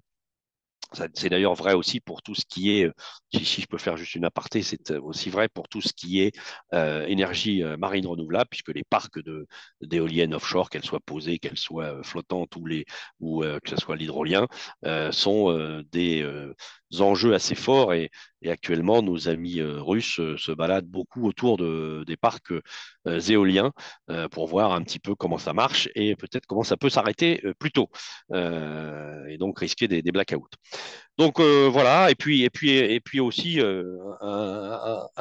fonds marins, c'est aussi un objet de patrimoine de patrimoine de l'humanité, de patrimoine euh, immatériel et matériel avec les nombreuses épaves euh, donc il faut protéger parce que le, risque de là encore de, visiteurs euh, est loin d'être négligeable et qu'il faut protéger parce que là aussi on a une urgence, c'est que les épaves en bois résistent plutôt bien. les épaves en métal sont en train d'être mangées par la rouille et on, peut perdre d'abord un certain nombre de patrimoines, hein, puisque ce sont pour beaucoup des cimetières, des sanctuaires, mais également avec un risque environnemental avéré, euh, puisque euh, un certain nombre d'épaves euh, très anciennes contiennent des substances nocives, dangereuses, tout ce que l'on voudra bien, et le jour où elles s'effondreront, elles peuvent en relâcher, et donc c'est un vrai sujet. Voilà, j'ai été sans doute, j'ai balayé un peu dans tous les sens, mais, mais, le, sujet est, très vaste, et bien évidemment, bah, c'est avec grand plaisir qu'auprès d'Olivier Poivre d'Arbor, on va essayer pour l'UNOC de monter une exposition qui montre un peu tous ces enjeux qui montre un peu les enjeux de l'exploration, les enjeux d'innovation, de, décarbonation, et qui montre à la planète que voilà, la France est un pays qui bouge et qui avance sur ces sujets. Je vous remercie de m'avoir écouté. C'est nous qui vous remercions beaucoup, Monsieur le Président. Maintenant, c'est Tanguy Stélin qui va revenir sur la négociation du traité international de protection de la haute mer dans ses aspects multilatéraux et de droit international. Euh, Tanguy est diplomate et juriste. Euh, après avoir fait Sciences Po et l'ESCP, euh, il est entré à l'ENA et sorti au Quai d'Orsay en 2005. Quatre ans d'abord à la direction des affaires juridiques, puis un détachement auprès de l'Agence des participations de l'État du ministère de l'économie et des finances, puis conseiller juridique de la représentation permanente à New York, puis conseiller personnel d'Antonio Guterres, secrétaire général des Nations Unies, et depuis quatre ans, Tanguy Stélin est directeur adjoint en charge des affaires européennes à la direction des affaires juridiques du Quai d'Orsay. Tanguy? Merci beaucoup et je suis, très heureux de, vous rejoindre dans une présentation pluridisciplinaire parce que je crois véritablement que euh, la négociation de ce traité et, les enjeux qui ont été évoqués par, Olivier, Marina et, Frédéric sont vraiment des, enjeux qui méritent que les diplomates, les juristes, euh, les, chercheurs et, tous ceux qui ont à cœur de, bien gérer ces, enjeux de bien commun de l'humanité euh, s'approprient un langage commun et des connaissances communes. Alors, je vais essayer de revenir sur cette euh, négociation qui a été un moment fort euh, pour lequel j'ai retrouvé Olivier à New York.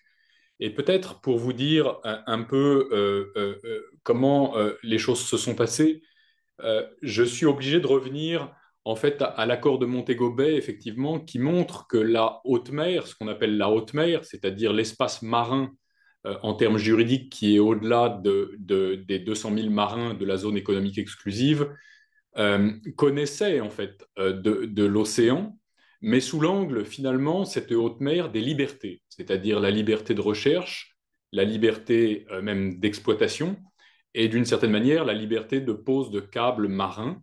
Et en fait, cette, cette, convention de Montego Bay est entrée en vigueur en 1994 et dix ans après, en 2004, les Nations Unies constataient une forme de lacune euh, dans la gestion en fait de cet univers de la haute mer qui, euh, comme il a été dit, représente 50% euh, de la surface planétaire et 64% des océans, rien que cela.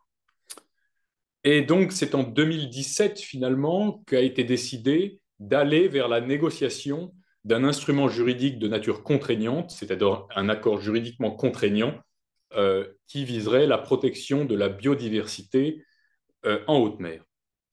Alors, euh, je vais essayer d'expliquer euh, pourquoi ce titre de euh, BBNJ ou Biodiversity Beyond National Jurisdiction, qui est un terme anglo-saxon, en reprenant chaque terme. Alors évidemment, il ne va pas traiter cet accord de ce qu'on appelle la mer territoriale qui est sous juridiction des États et de la zone économique exclusive qui confère aux États des droits euh, d'exploration, des droits de recherche, euh, des droits d'exploitation dans cette zone jusqu'aux 200 000 marins, mais aussi, euh, ce qui a été un peu négligé, une obligation de protection du milieu marin. Donc nous avions toute cette zone en fait à, réglementer plus précisément en termes de protection. Et je crois qu'Olivier a bien montré combien euh, disons, épistémologiquement, on est passé d'un régime de liberté pleine à un régime de protection de cet espace euh, avec cette négociation et avec ce traité. Deuxième point qui est celui de la biodiversité. Qu'est-ce qu'on appelle la biodiversité? D'une certaine manière, euh, l'espace dont on parle était limité par ce qui est régi par d'autres instruments. J'entends les fonds marins, dont Olivier euh, et Frédéric ont parlé, qui sont, eux, régis par euh, la, euh, la, Convention de Montego Bay sous le, nom de la zone. La zone, c'est pas complètement neutre parce que c'est ce qui est en droit un patrimoine commun de l'humanité. Et ce patrimoine commun de l'humanité, c'est une notion qui définit ipso facto un régime. Et ce régime, c'est celui de la non-appropriation étatique et celui d'une autorité internationale qui a pour fonction de manière internationale de décider les permis de, recherche, d'exploration et le cas échéant, euh, ce qui est encore en jeu et contre lequel nous combattons, euh, des possibilités d'exploitation sans qu'on connaisse véritablement euh, les tenants et aboutissants du point de vue scientifique d'un tel développement. La deuxième limite de cette biodiversité, c'est qu'elle concerne les ressources génétiques marines, sous-entendu un certain nombre d'enjeux de pêche ne font pas réellement partie, alors il peut y avoir des, zones de recoupement, mais ne font pas réellement partie de cet instrument dans le sens où ils sont plus à proprement parler euh, régis par euh, ce qu'on appelle des organismes régionaux de pêche et par euh, l'accord d'application de Montego Bay qui a déjà été signé en 94-95 qui concerne les, stocks chevauchants. et ça, c'est déjà traité. Alors, il est très clair que quand vous, me direz qu'est-ce que régit cet accord, vous serez un peu euh, surpris, mais en réalité, on ne le sait pas vraiment. Parce que quelque part, euh, ce que nous dit Tara, ce que nous dit l'ensemble des milieux scientifiques, c'est qu'il y a encore quasiment 90% des espèces qui sont à découvrir, à identifier. C'est une mission scientifique tout à fait passionnante, mais qui suppose qu'on la protège de manière extrêmement euh, avec vigilance euh, parce qu'il y a évidemment derrière des enjeux potentiels de nature industrielle que sont euh, dans le domaine des cosmétiques, des, biotechnologies ou encore euh, de l'agroalimentaire, un certain nombre de développements possibles.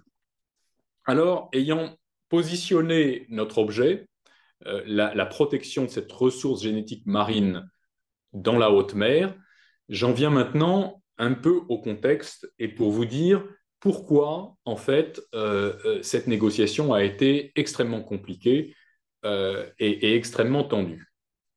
Alors, je crois que, en fait, nous sommes arrivés en mars 2023 à un moment multilatéral qu'Olivier a souligné, une fracture multilatérale très profonde. Mais je voudrais dire aussi pourquoi la défiance était à un point comme moi, je ne l'ai jamais connu aux Nations Unies. Le premier point, c'est évidemment le sentiment quelque part que euh, les pays développés n'ont pas euh, complètement rempli un certain nombre des promesses qu'ils avaient faites sur la gestion de ce qu'on appelle les biens communs.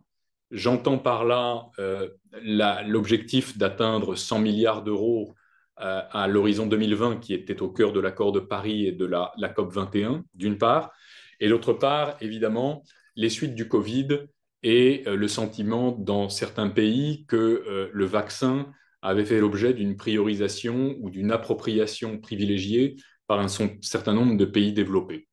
Ça, c'est le cadre qui explique l'océan, je dirais, de méfiance que l'on a rencontré, en plus euh, des questions liées à la rivalité euh, sino-américaine stratégique, et puis, bien sûr, à euh, le déclenchement de la guerre en Ukraine, qui a quelque part terni cette négociation. Mais à l'inverse, on était poussé par des vents en quelque sorte favorables qui nous donnaient une forme d'obligation de réussite. La première, c'est que c'était vraiment la dernière session de négociation possible.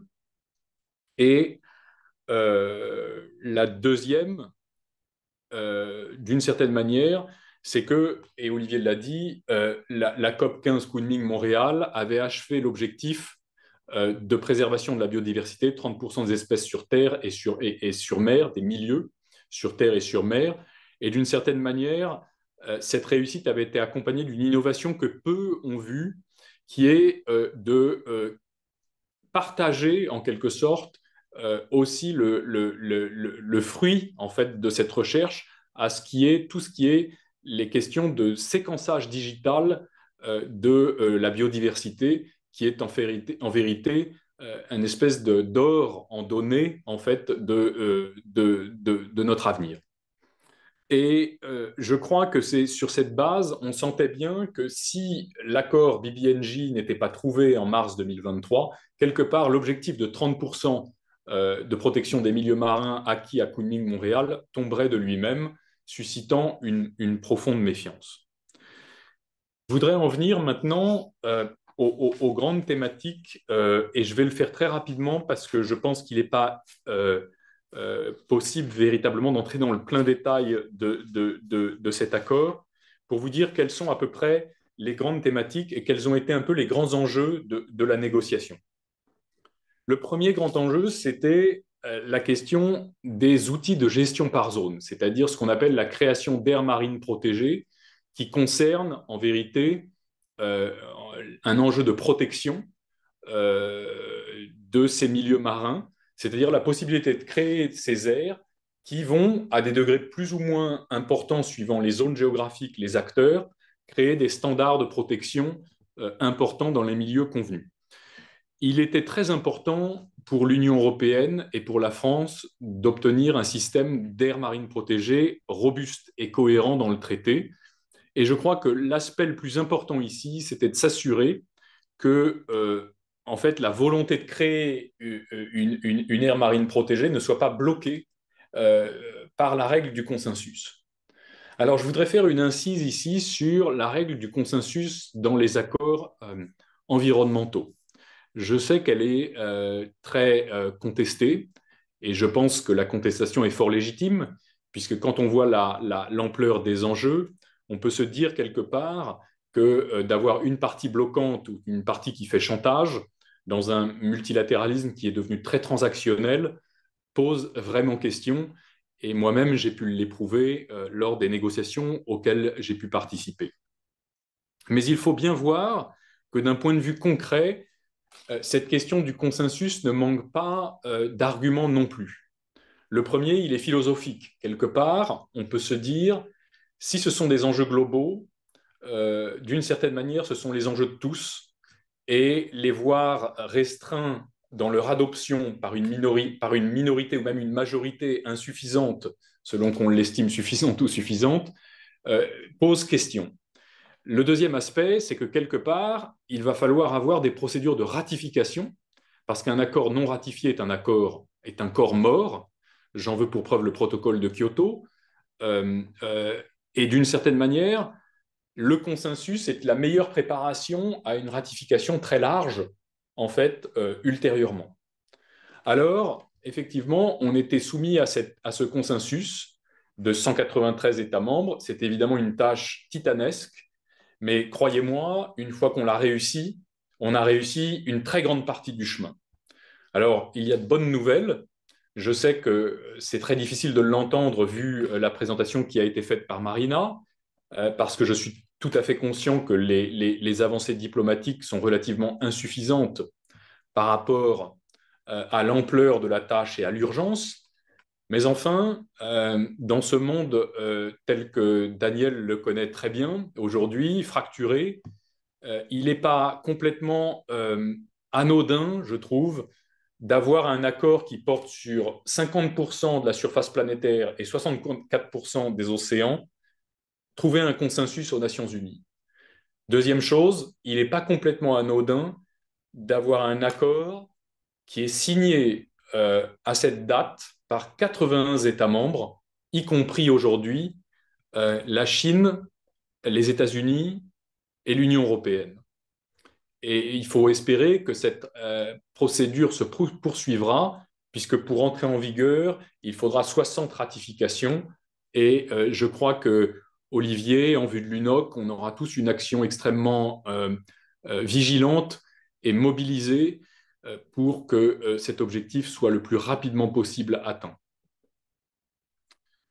Je crois aussi qu'il n'est pas un hasard complet, et permettez-moi ce clin d'œil, que cet accord sur l'océan, quelque part, trouve un aboutissement à un moment où un secrétaire général portugais a fait du climat un, enjeu pour lui extrêmement personnel et, vital, et je crois qu'il a, tout à fait raison sur ce point, pour en avoir souvent parlé avec lui, euh, même si parfois il est un peu seul.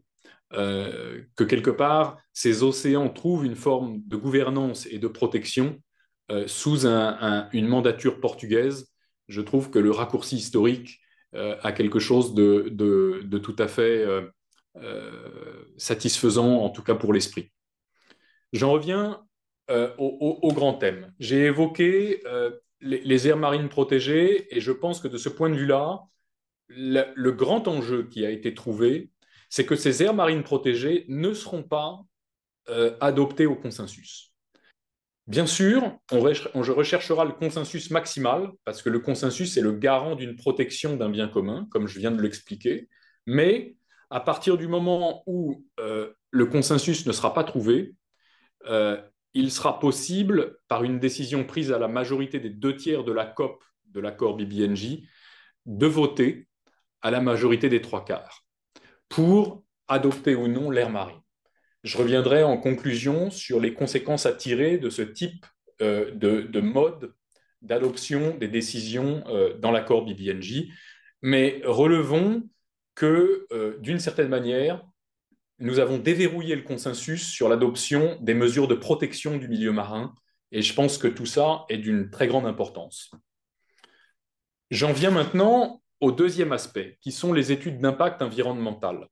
Désormais, sous l'accord BBNJ, il sera nécessaire, lorsqu'on veut mener des activités en haute mer, puisqu'elles sont encore protégées évidemment par la liberté que leur consacre l'accord de Montego Bay, c'est-à-dire liberté de recherche, liberté d'exploitation et, liberté de navigation, de euh, euh, euh, désormais évaluer les activités que l'on mène. Alors évidemment, quand on regarde l'accord, on peut avoir l'impression que tout ça est très technique. On vous donne des seuils à partir d'un certain moment, quel type d'études d'impact il faudra faire, suivant quel standard, un standard simple, un standard moyen, un standard compliqué. Et puis on peut se dire, d'une certaine manière, eh bien, euh, il n'y a pas vraiment de conclusion qu'on en tire.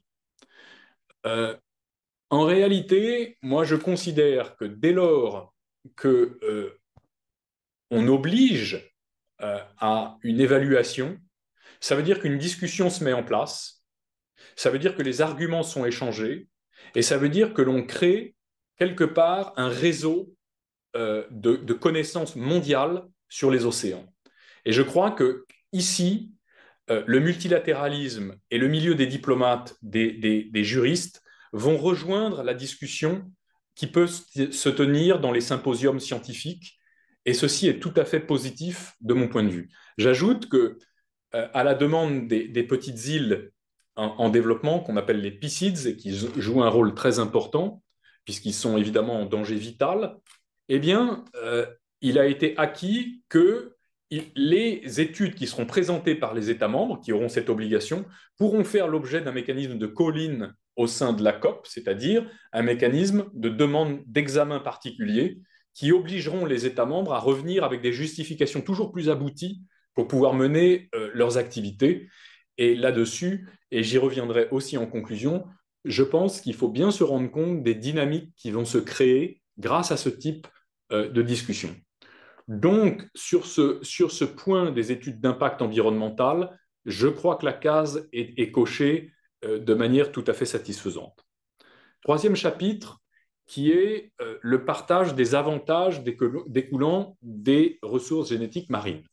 Et évidemment, là, on était un peu au, cœur du, réacteur, si je peux m'exprimer ainsi, car euh, c'est évidemment ici que se posait la question du financement d'une certaine manière, comment euh, euh, on, répartit dans la communauté internationale le produit euh, de l'exploitation des ressources génétiques marines. Alors là, évidemment, vous aviez deux conceptions un peu polaires qui s'affrontaient, qui étaient, je dirais, le G77 qui souhaitait que euh, ces ressources génétiques marines fassent partie du patrimoine commun de l'humanité, euh, comme je viens de, le présenter. Et puis, il y avait les États, euh, disons, les plus impliqués dans la recherche, qui souhaitaient surtout maintenir cette liberté d'exploitation, cette liberté de recherche. L'Union européenne et la France étaient un peu dans une position médiane en souhaitant euh, effectivement ouvrir à tout le moins la question du modèle économique euh, au cœur de l'accord. Et c'est là que, d'une certaine manière, un certain consensus a été trouvé qui ne peut pas être le patrimoine commun euh, de l'humanité, puisque l'accord de Montego ne prévoit pas l'application du régime du patrimoine commun de l'humanité dans la, haute mer. Il la réserve pour les fonds marins, comme je l'ai expliqué précédemment.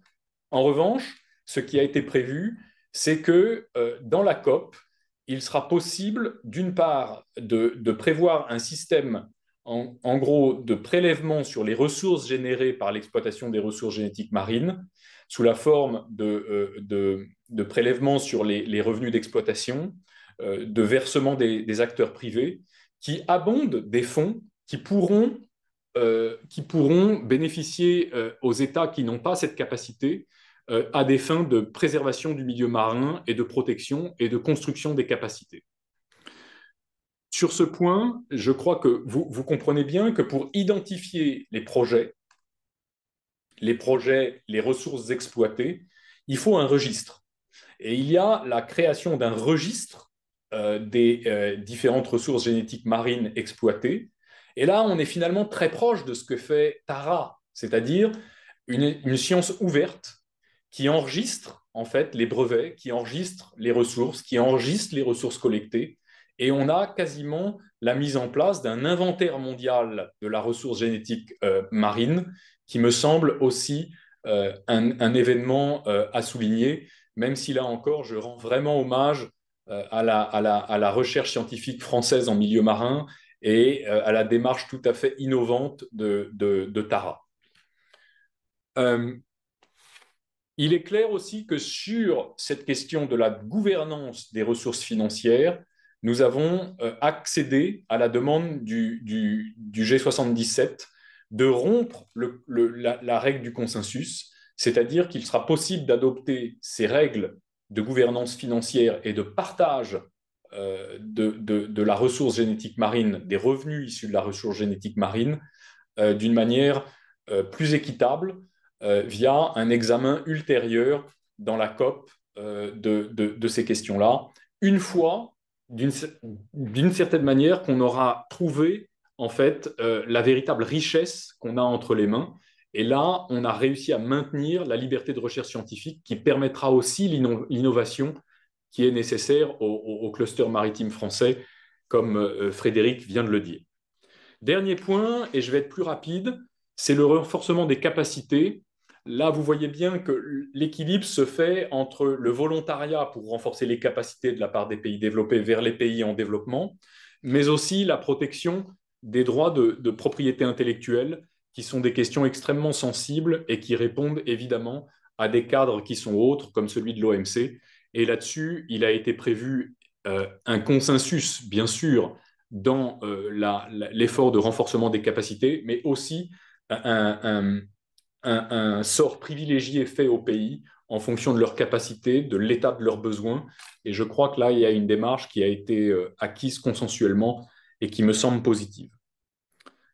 Dernier point, qui sont le paysage institutionnel. Vous avez la création d'une COP. Alors on peut se dire, évidemment, euh, solution usitée, euh, vieil instrument, etc. Mais je crois qu'on a affaire ici à la création d'un paysage institutionnel euh, qui aura à charge de faire un, inventaire scientifique, de faire un état des lieux du milieu marin, de, répartir les choses d'un point de vue financier. Et donc, se crée une discussion mondiale autour des océans, et il me semble que c'est un point particulièrement important. Je vais essayer d'aller très vite dans une conclusion pour ouvrir sur ce que j'ai appelé les éléments de dynamique de tout ça, si évidemment euh, l'accord se, met bien en place et entre bien en vigueur. Premier point, euh, qu'est-ce qui a été fait avec l'accord BBNJ pour la haute mer et pour une très grande partie de l'océan? Moi, je crois que euh, la meilleure nouvelle, c'est que l'accord soit sorti des Nations Unies. Parce qu'aux Nations Unies, je les connais bien, et Daniel aussi, les discussions peuvent s'éterniser.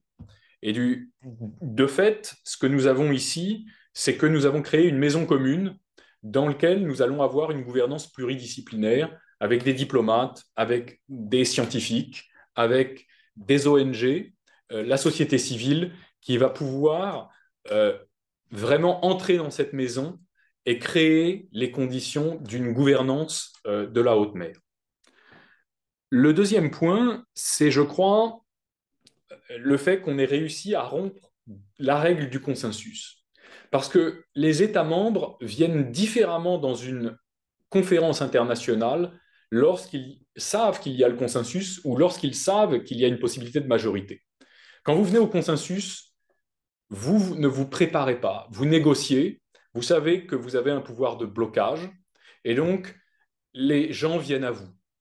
Quand vous avez une règle à la majorité qualifiée, même si elle est haute, vous êtes en situation de création de coalition.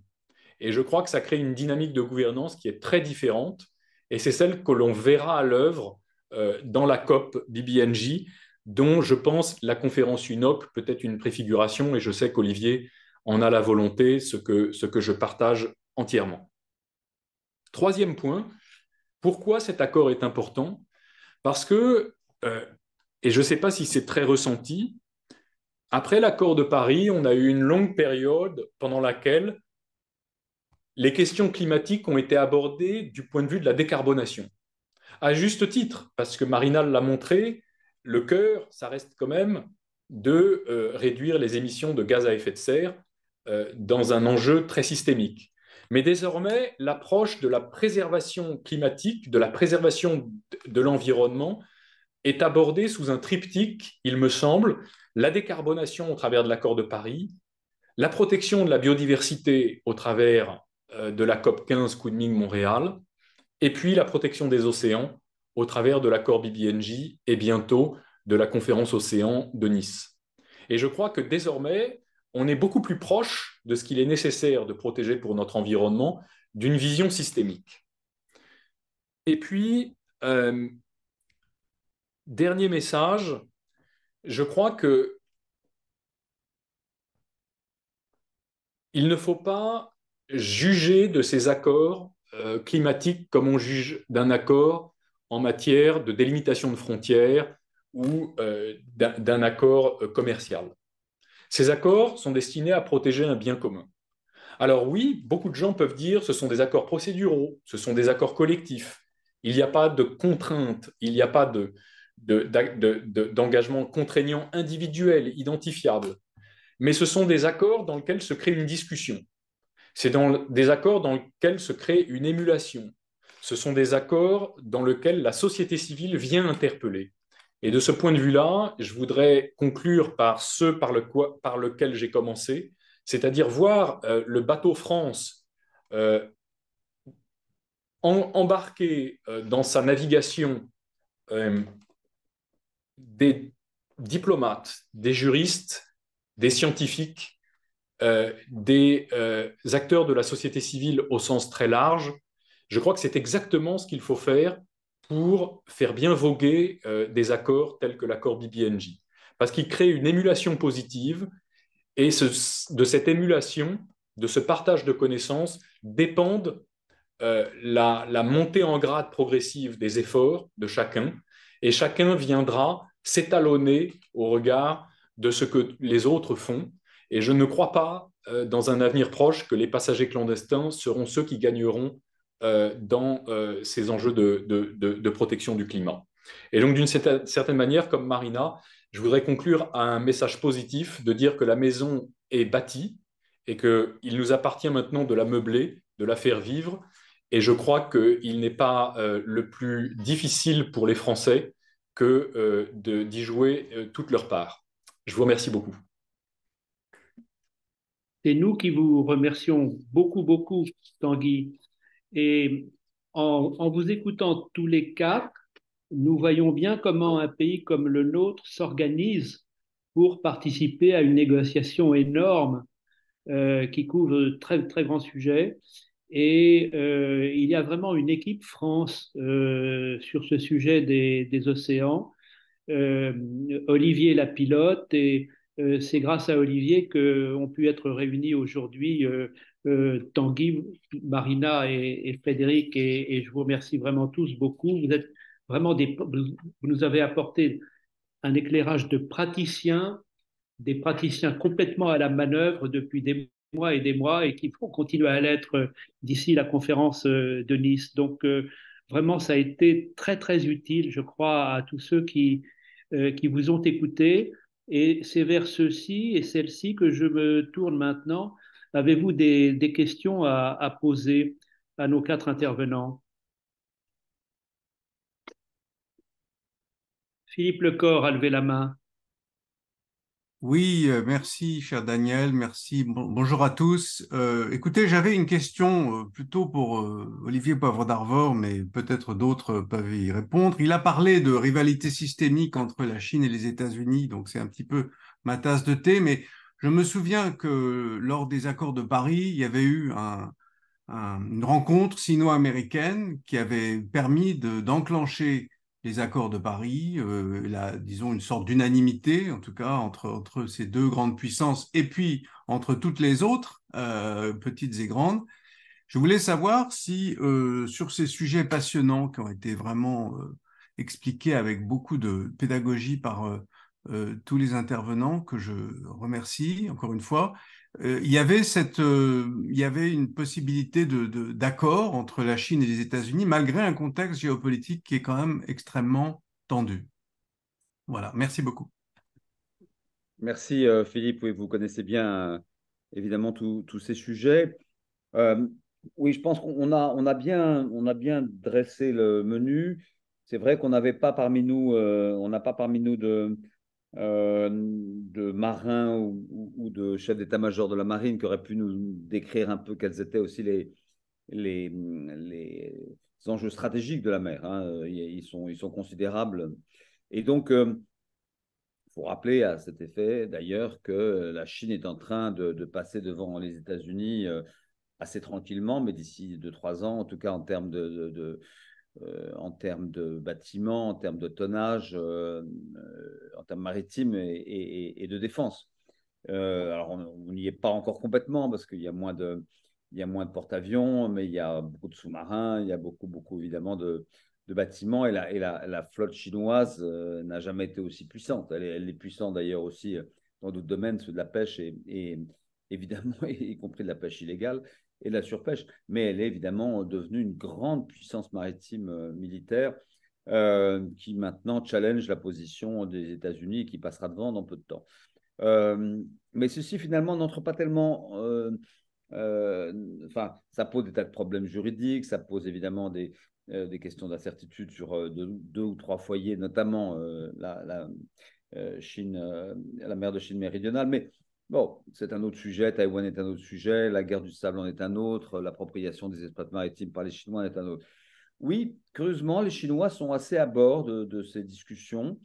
Euh, les Américains sont pas si faciles. Hein. Je vous rappelle quand même, euh, d'ailleurs, tant qu'il pourrait mieux en parler, mais que parce qu'il y a toujours un problème au Sénat, mais enfin, ils n'ont pas ratifié, euh, je crois, le Montego Bay, et que dans le fond, ils donnent des, leçons un peu à tout le monde. Mais enfin, eux-mêmes ne se dépêche pas pour euh, ratifier, mais enfin, de facto, ils sont appliqués, ces traités.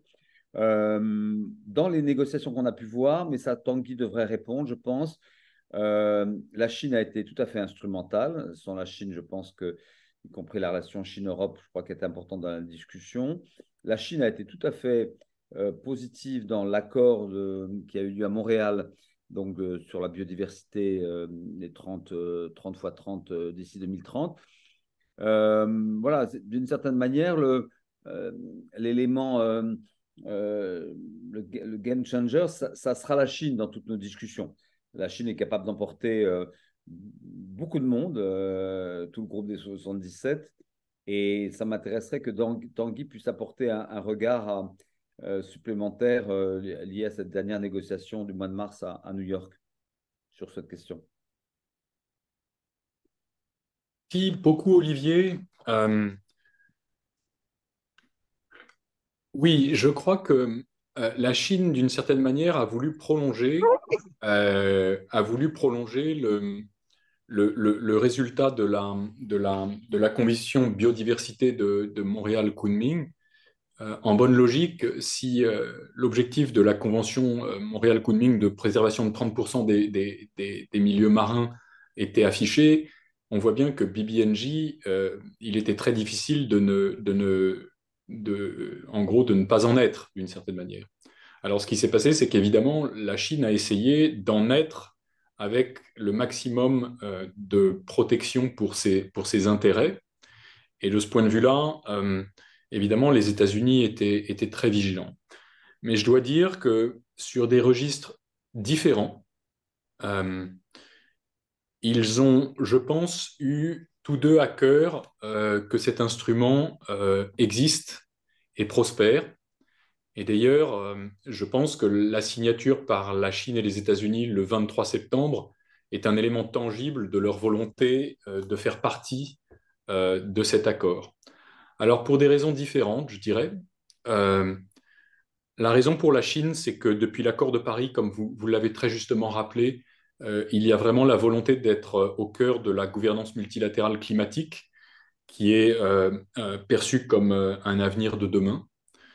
Et aux États-Unis, avec des effets de sinusoïdes qui sont liés aux différentes administrations, il y avait vraiment une volonté démocrate très claire en fait, de, de, faire partie de ce dispositif, comme ça avait été le cas avec euh, John Kerry euh, lors de la, de la COP 21. Euh, alors, comment ça se manifeste dans une négociation comme celle-ci, pour être particulièrement concret? Je crois que ça se manifeste d'abord sur les questions d'air marine protégée la grande crainte de la délégation chinoise était en quelque sorte que via la création d'une aire marine protégée, c'est-à-dire de dire on est en haute mer, on crée une, aire marine protégée, on empiète euh, sur un territoire disputé et que la Chine estime sa propre propriété. Alors un certain nombre d'États créent une aire marine protégée, euh, et puis ils lui disent ensuite, bah, on a décidé une aire marine protégée, c'est la haute mer, et donc ce n'est pas le territoire chinois.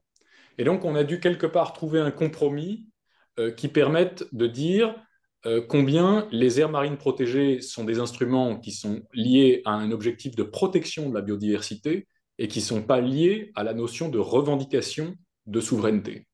À cette condition-là, euh, il est clair que la Chine a pu accepter que la création d'une aire marine protégée ne soit pas faite à l'unanimité et a donc desserré son veto en quelque sorte, via l'abandon de la formule du consensus. Et je dois dire que, euh, en fait, la délégation qui a été euh, le rouage pour parvenir à, cet objectif, ça a été l'Union européenne, parce que euh, nous avons pu garder un, langage, des, canaux de dialogue à la fois avec la délégation chinoise et à la fois avec la délégation américaine pour ce faire. Ensuite, une fois qu'on sort de la, mécanique juridique, et pour répondre parfaitement à votre question, euh, et je sors peut-être un peu de mon domaine, mais j'essaye d'en avoir une interprétation, je pense quand même que la, question des, îles du Pacifique, des petites îles, finalement est très stratégique pour les deux États. Et ces îles-là, sur les enjeux de, de, protection de biodiversité, sur les questions d'élévation de la mer, il ne faut pas se leurrer, elles n'ont pas de marge de négociation, c'est juste leur survie qui est en jeu. Et donc celui qui, quelque part, ne va pas euh, soutenir l'accord en cours de négociation perd quand même une crédibilité très importante vis-à-vis d'un nombre d'acteurs non négligeables et d'un nombre de, de, voix euh, dans la communauté internationale qui sont très importantes. Et je crois que c'est ce qui s'est joué, et c'est là où la question de l'Indo-Pacifique, en fait, revient. Et vous ne serez pas euh, étonné de savoir que les États qui ont été le plus vigilants sur les efforts de l'Union européenne et de compromis qu'on a eu jusque très très tard dans la dernière nuit de négociation ont été des États comme le Vietnam, les Philippines, qui ont vraiment veillé à ce que la protection acquise par la Chine sur les revendications territoriales ne vienne pas entraver euh, leurs intérêts qu'ils estiment souverains et qu'ils estiment légitimes. Et euh, là, vraiment, c'est du drafting, c'est vraiment des efforts de drafting qui permettent de parvenir à un résultat. et qui a montré in fine, puisque je crois qu'il faut se fier au fait, que à la fois par l'adoption de l'instrument et par la signature, à la fois les États-Unis et la Chine étaient capables euh, de dépasser leur rivalité stratégique pour euh, des, fins de protection d'un enjeu vital pour la planète. Merci beaucoup. Merci Tanguy. Nous allons prendre une, dernière question euh, de Juliette Lassement. Oui, merci beaucoup. Euh, tout d'abord, euh, un grand merci à tous pour la qualité de vos interventions très intéressantes, qui nous ont apporté différentes perspectives. Donc, je suis Juliette Lassman. je travaille à l'OCDE au sein du programme de la gouvernance de l'eau et d'un nouveau programme sur l'économie bleue dans les villes et dans les régions. Et donc peut-être une, une, question pour, pour Olivier. Euh, D'abord, vous l'avez très bien évoqué, les villes et les régions sont au premier plan euh, de, de, la montée du niveau des eaux et de tous les risques liés à l'eau et aux phénomènes météorologiques extrêmes.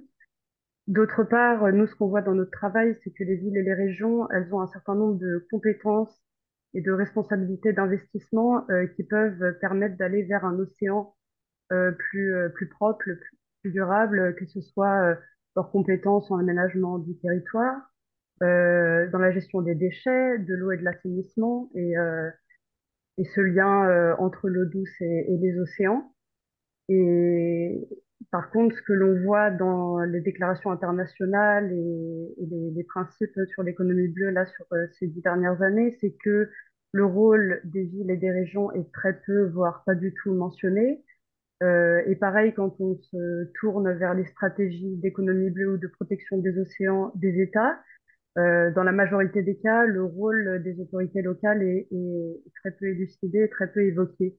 Donc, je voulais savoir à l'horizon euh, 2025, donc euh, et notamment pour la déclaration de Nice, s'il y avait cette volonté de, parler du rôle des, autorités locales en France, dans le monde, si c'était à l'ordre du jour. Merci. Oui, on va essayer de parler de, de, tout d'ailleurs. On va essayer de donner la parole aux scientifiques d'abord.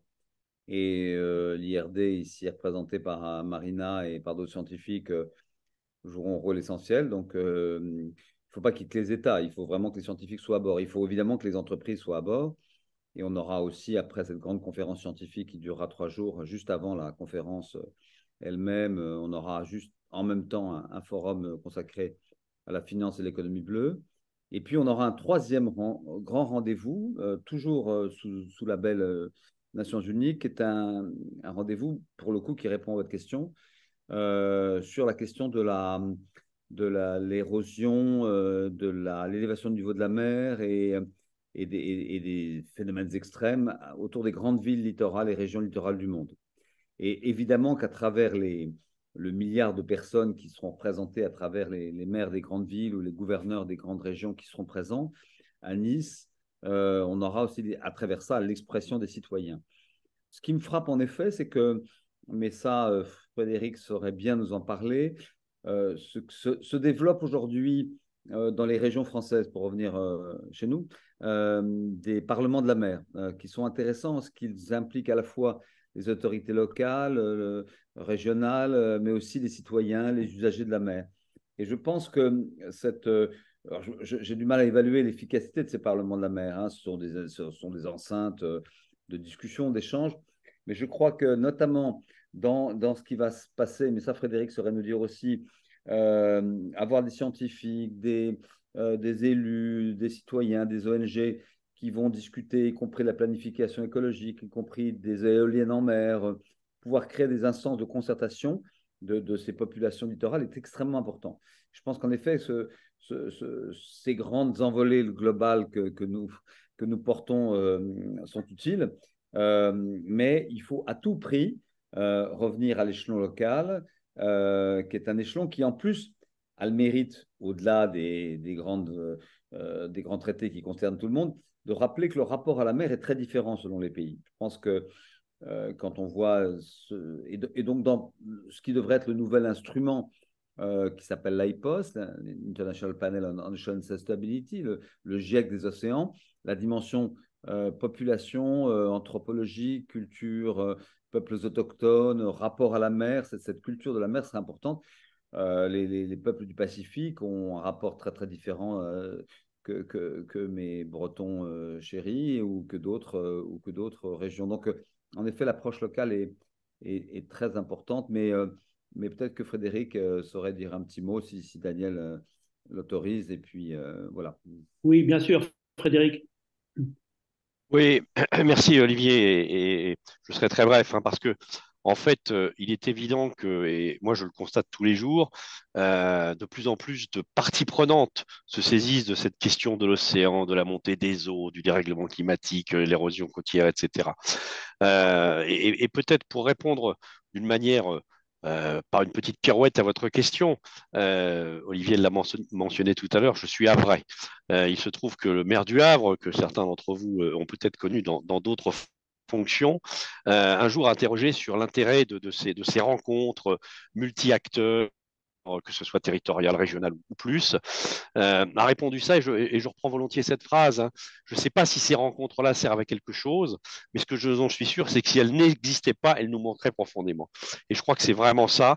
Euh, et on voit par exemple en Occitanie, euh, qui a le, Parlement de la mer le plus ancien, hein, puisque ça date de près d'une vingtaine d'années. en Occitanie, on voit une dynamique qui est un peu en avance par rapport à d'autres. Hmm. Et euh, il y, a, cet encouragement, euh, là aussi, de, des politiques publiques à ce que les parlements de la mer euh, existent tout à fait partout et, que les citoyens soient concernés par les décisions. Merci beaucoup. Merci. Je crois que nous pouvons conclure maintenant. Est-ce que Aurélien Colson aimerait dire un mot? Oui, un mot simplement pour vous remercier. Merci madame, merci messieurs de la qualité de vos interventions respectives. J'ai appris beaucoup de choses, j'ai pris beaucoup de notes. Évidemment, avec l'angle qui est le mien de la négociation, j'ai en particulier été intéressé par ce que vous nous avez raconté, Tanguy Stéhelin, de, de l'intérieur de cette négociation telle qu'elle vient de se conclure. Et sans doute y aurait-il encore beaucoup de choses à dire. Euh, donc un grand merci euh, à vous tous. Merci, cher Daniel, d'avoir aidé à, à organiser ce 76e Sirène. Euh, je vous donne rendez-vous pour le prochain, qui sera le 77e, et qui sera, selon une toute jeune tradition, mais que l'on veut conforter, un, séminaire de rentrée géopolitique où les différents experts de l'Irénée à l'ESSEC euh, tiendront une sorte de table ronde ouverte sur tous les enjeux de l'actualité géopolitique, et chacun sait combien elle est euh, chargée de sujets, de sujets graves. Voilà, un très grand merci à toutes et à tous. Euh, et donc, euh, rendez-vous courant octobre. La date n'est pas encore tout à fait calée. On vous enverra par les canaux habituels l'information. Bon vent à tous alors. Bon vent.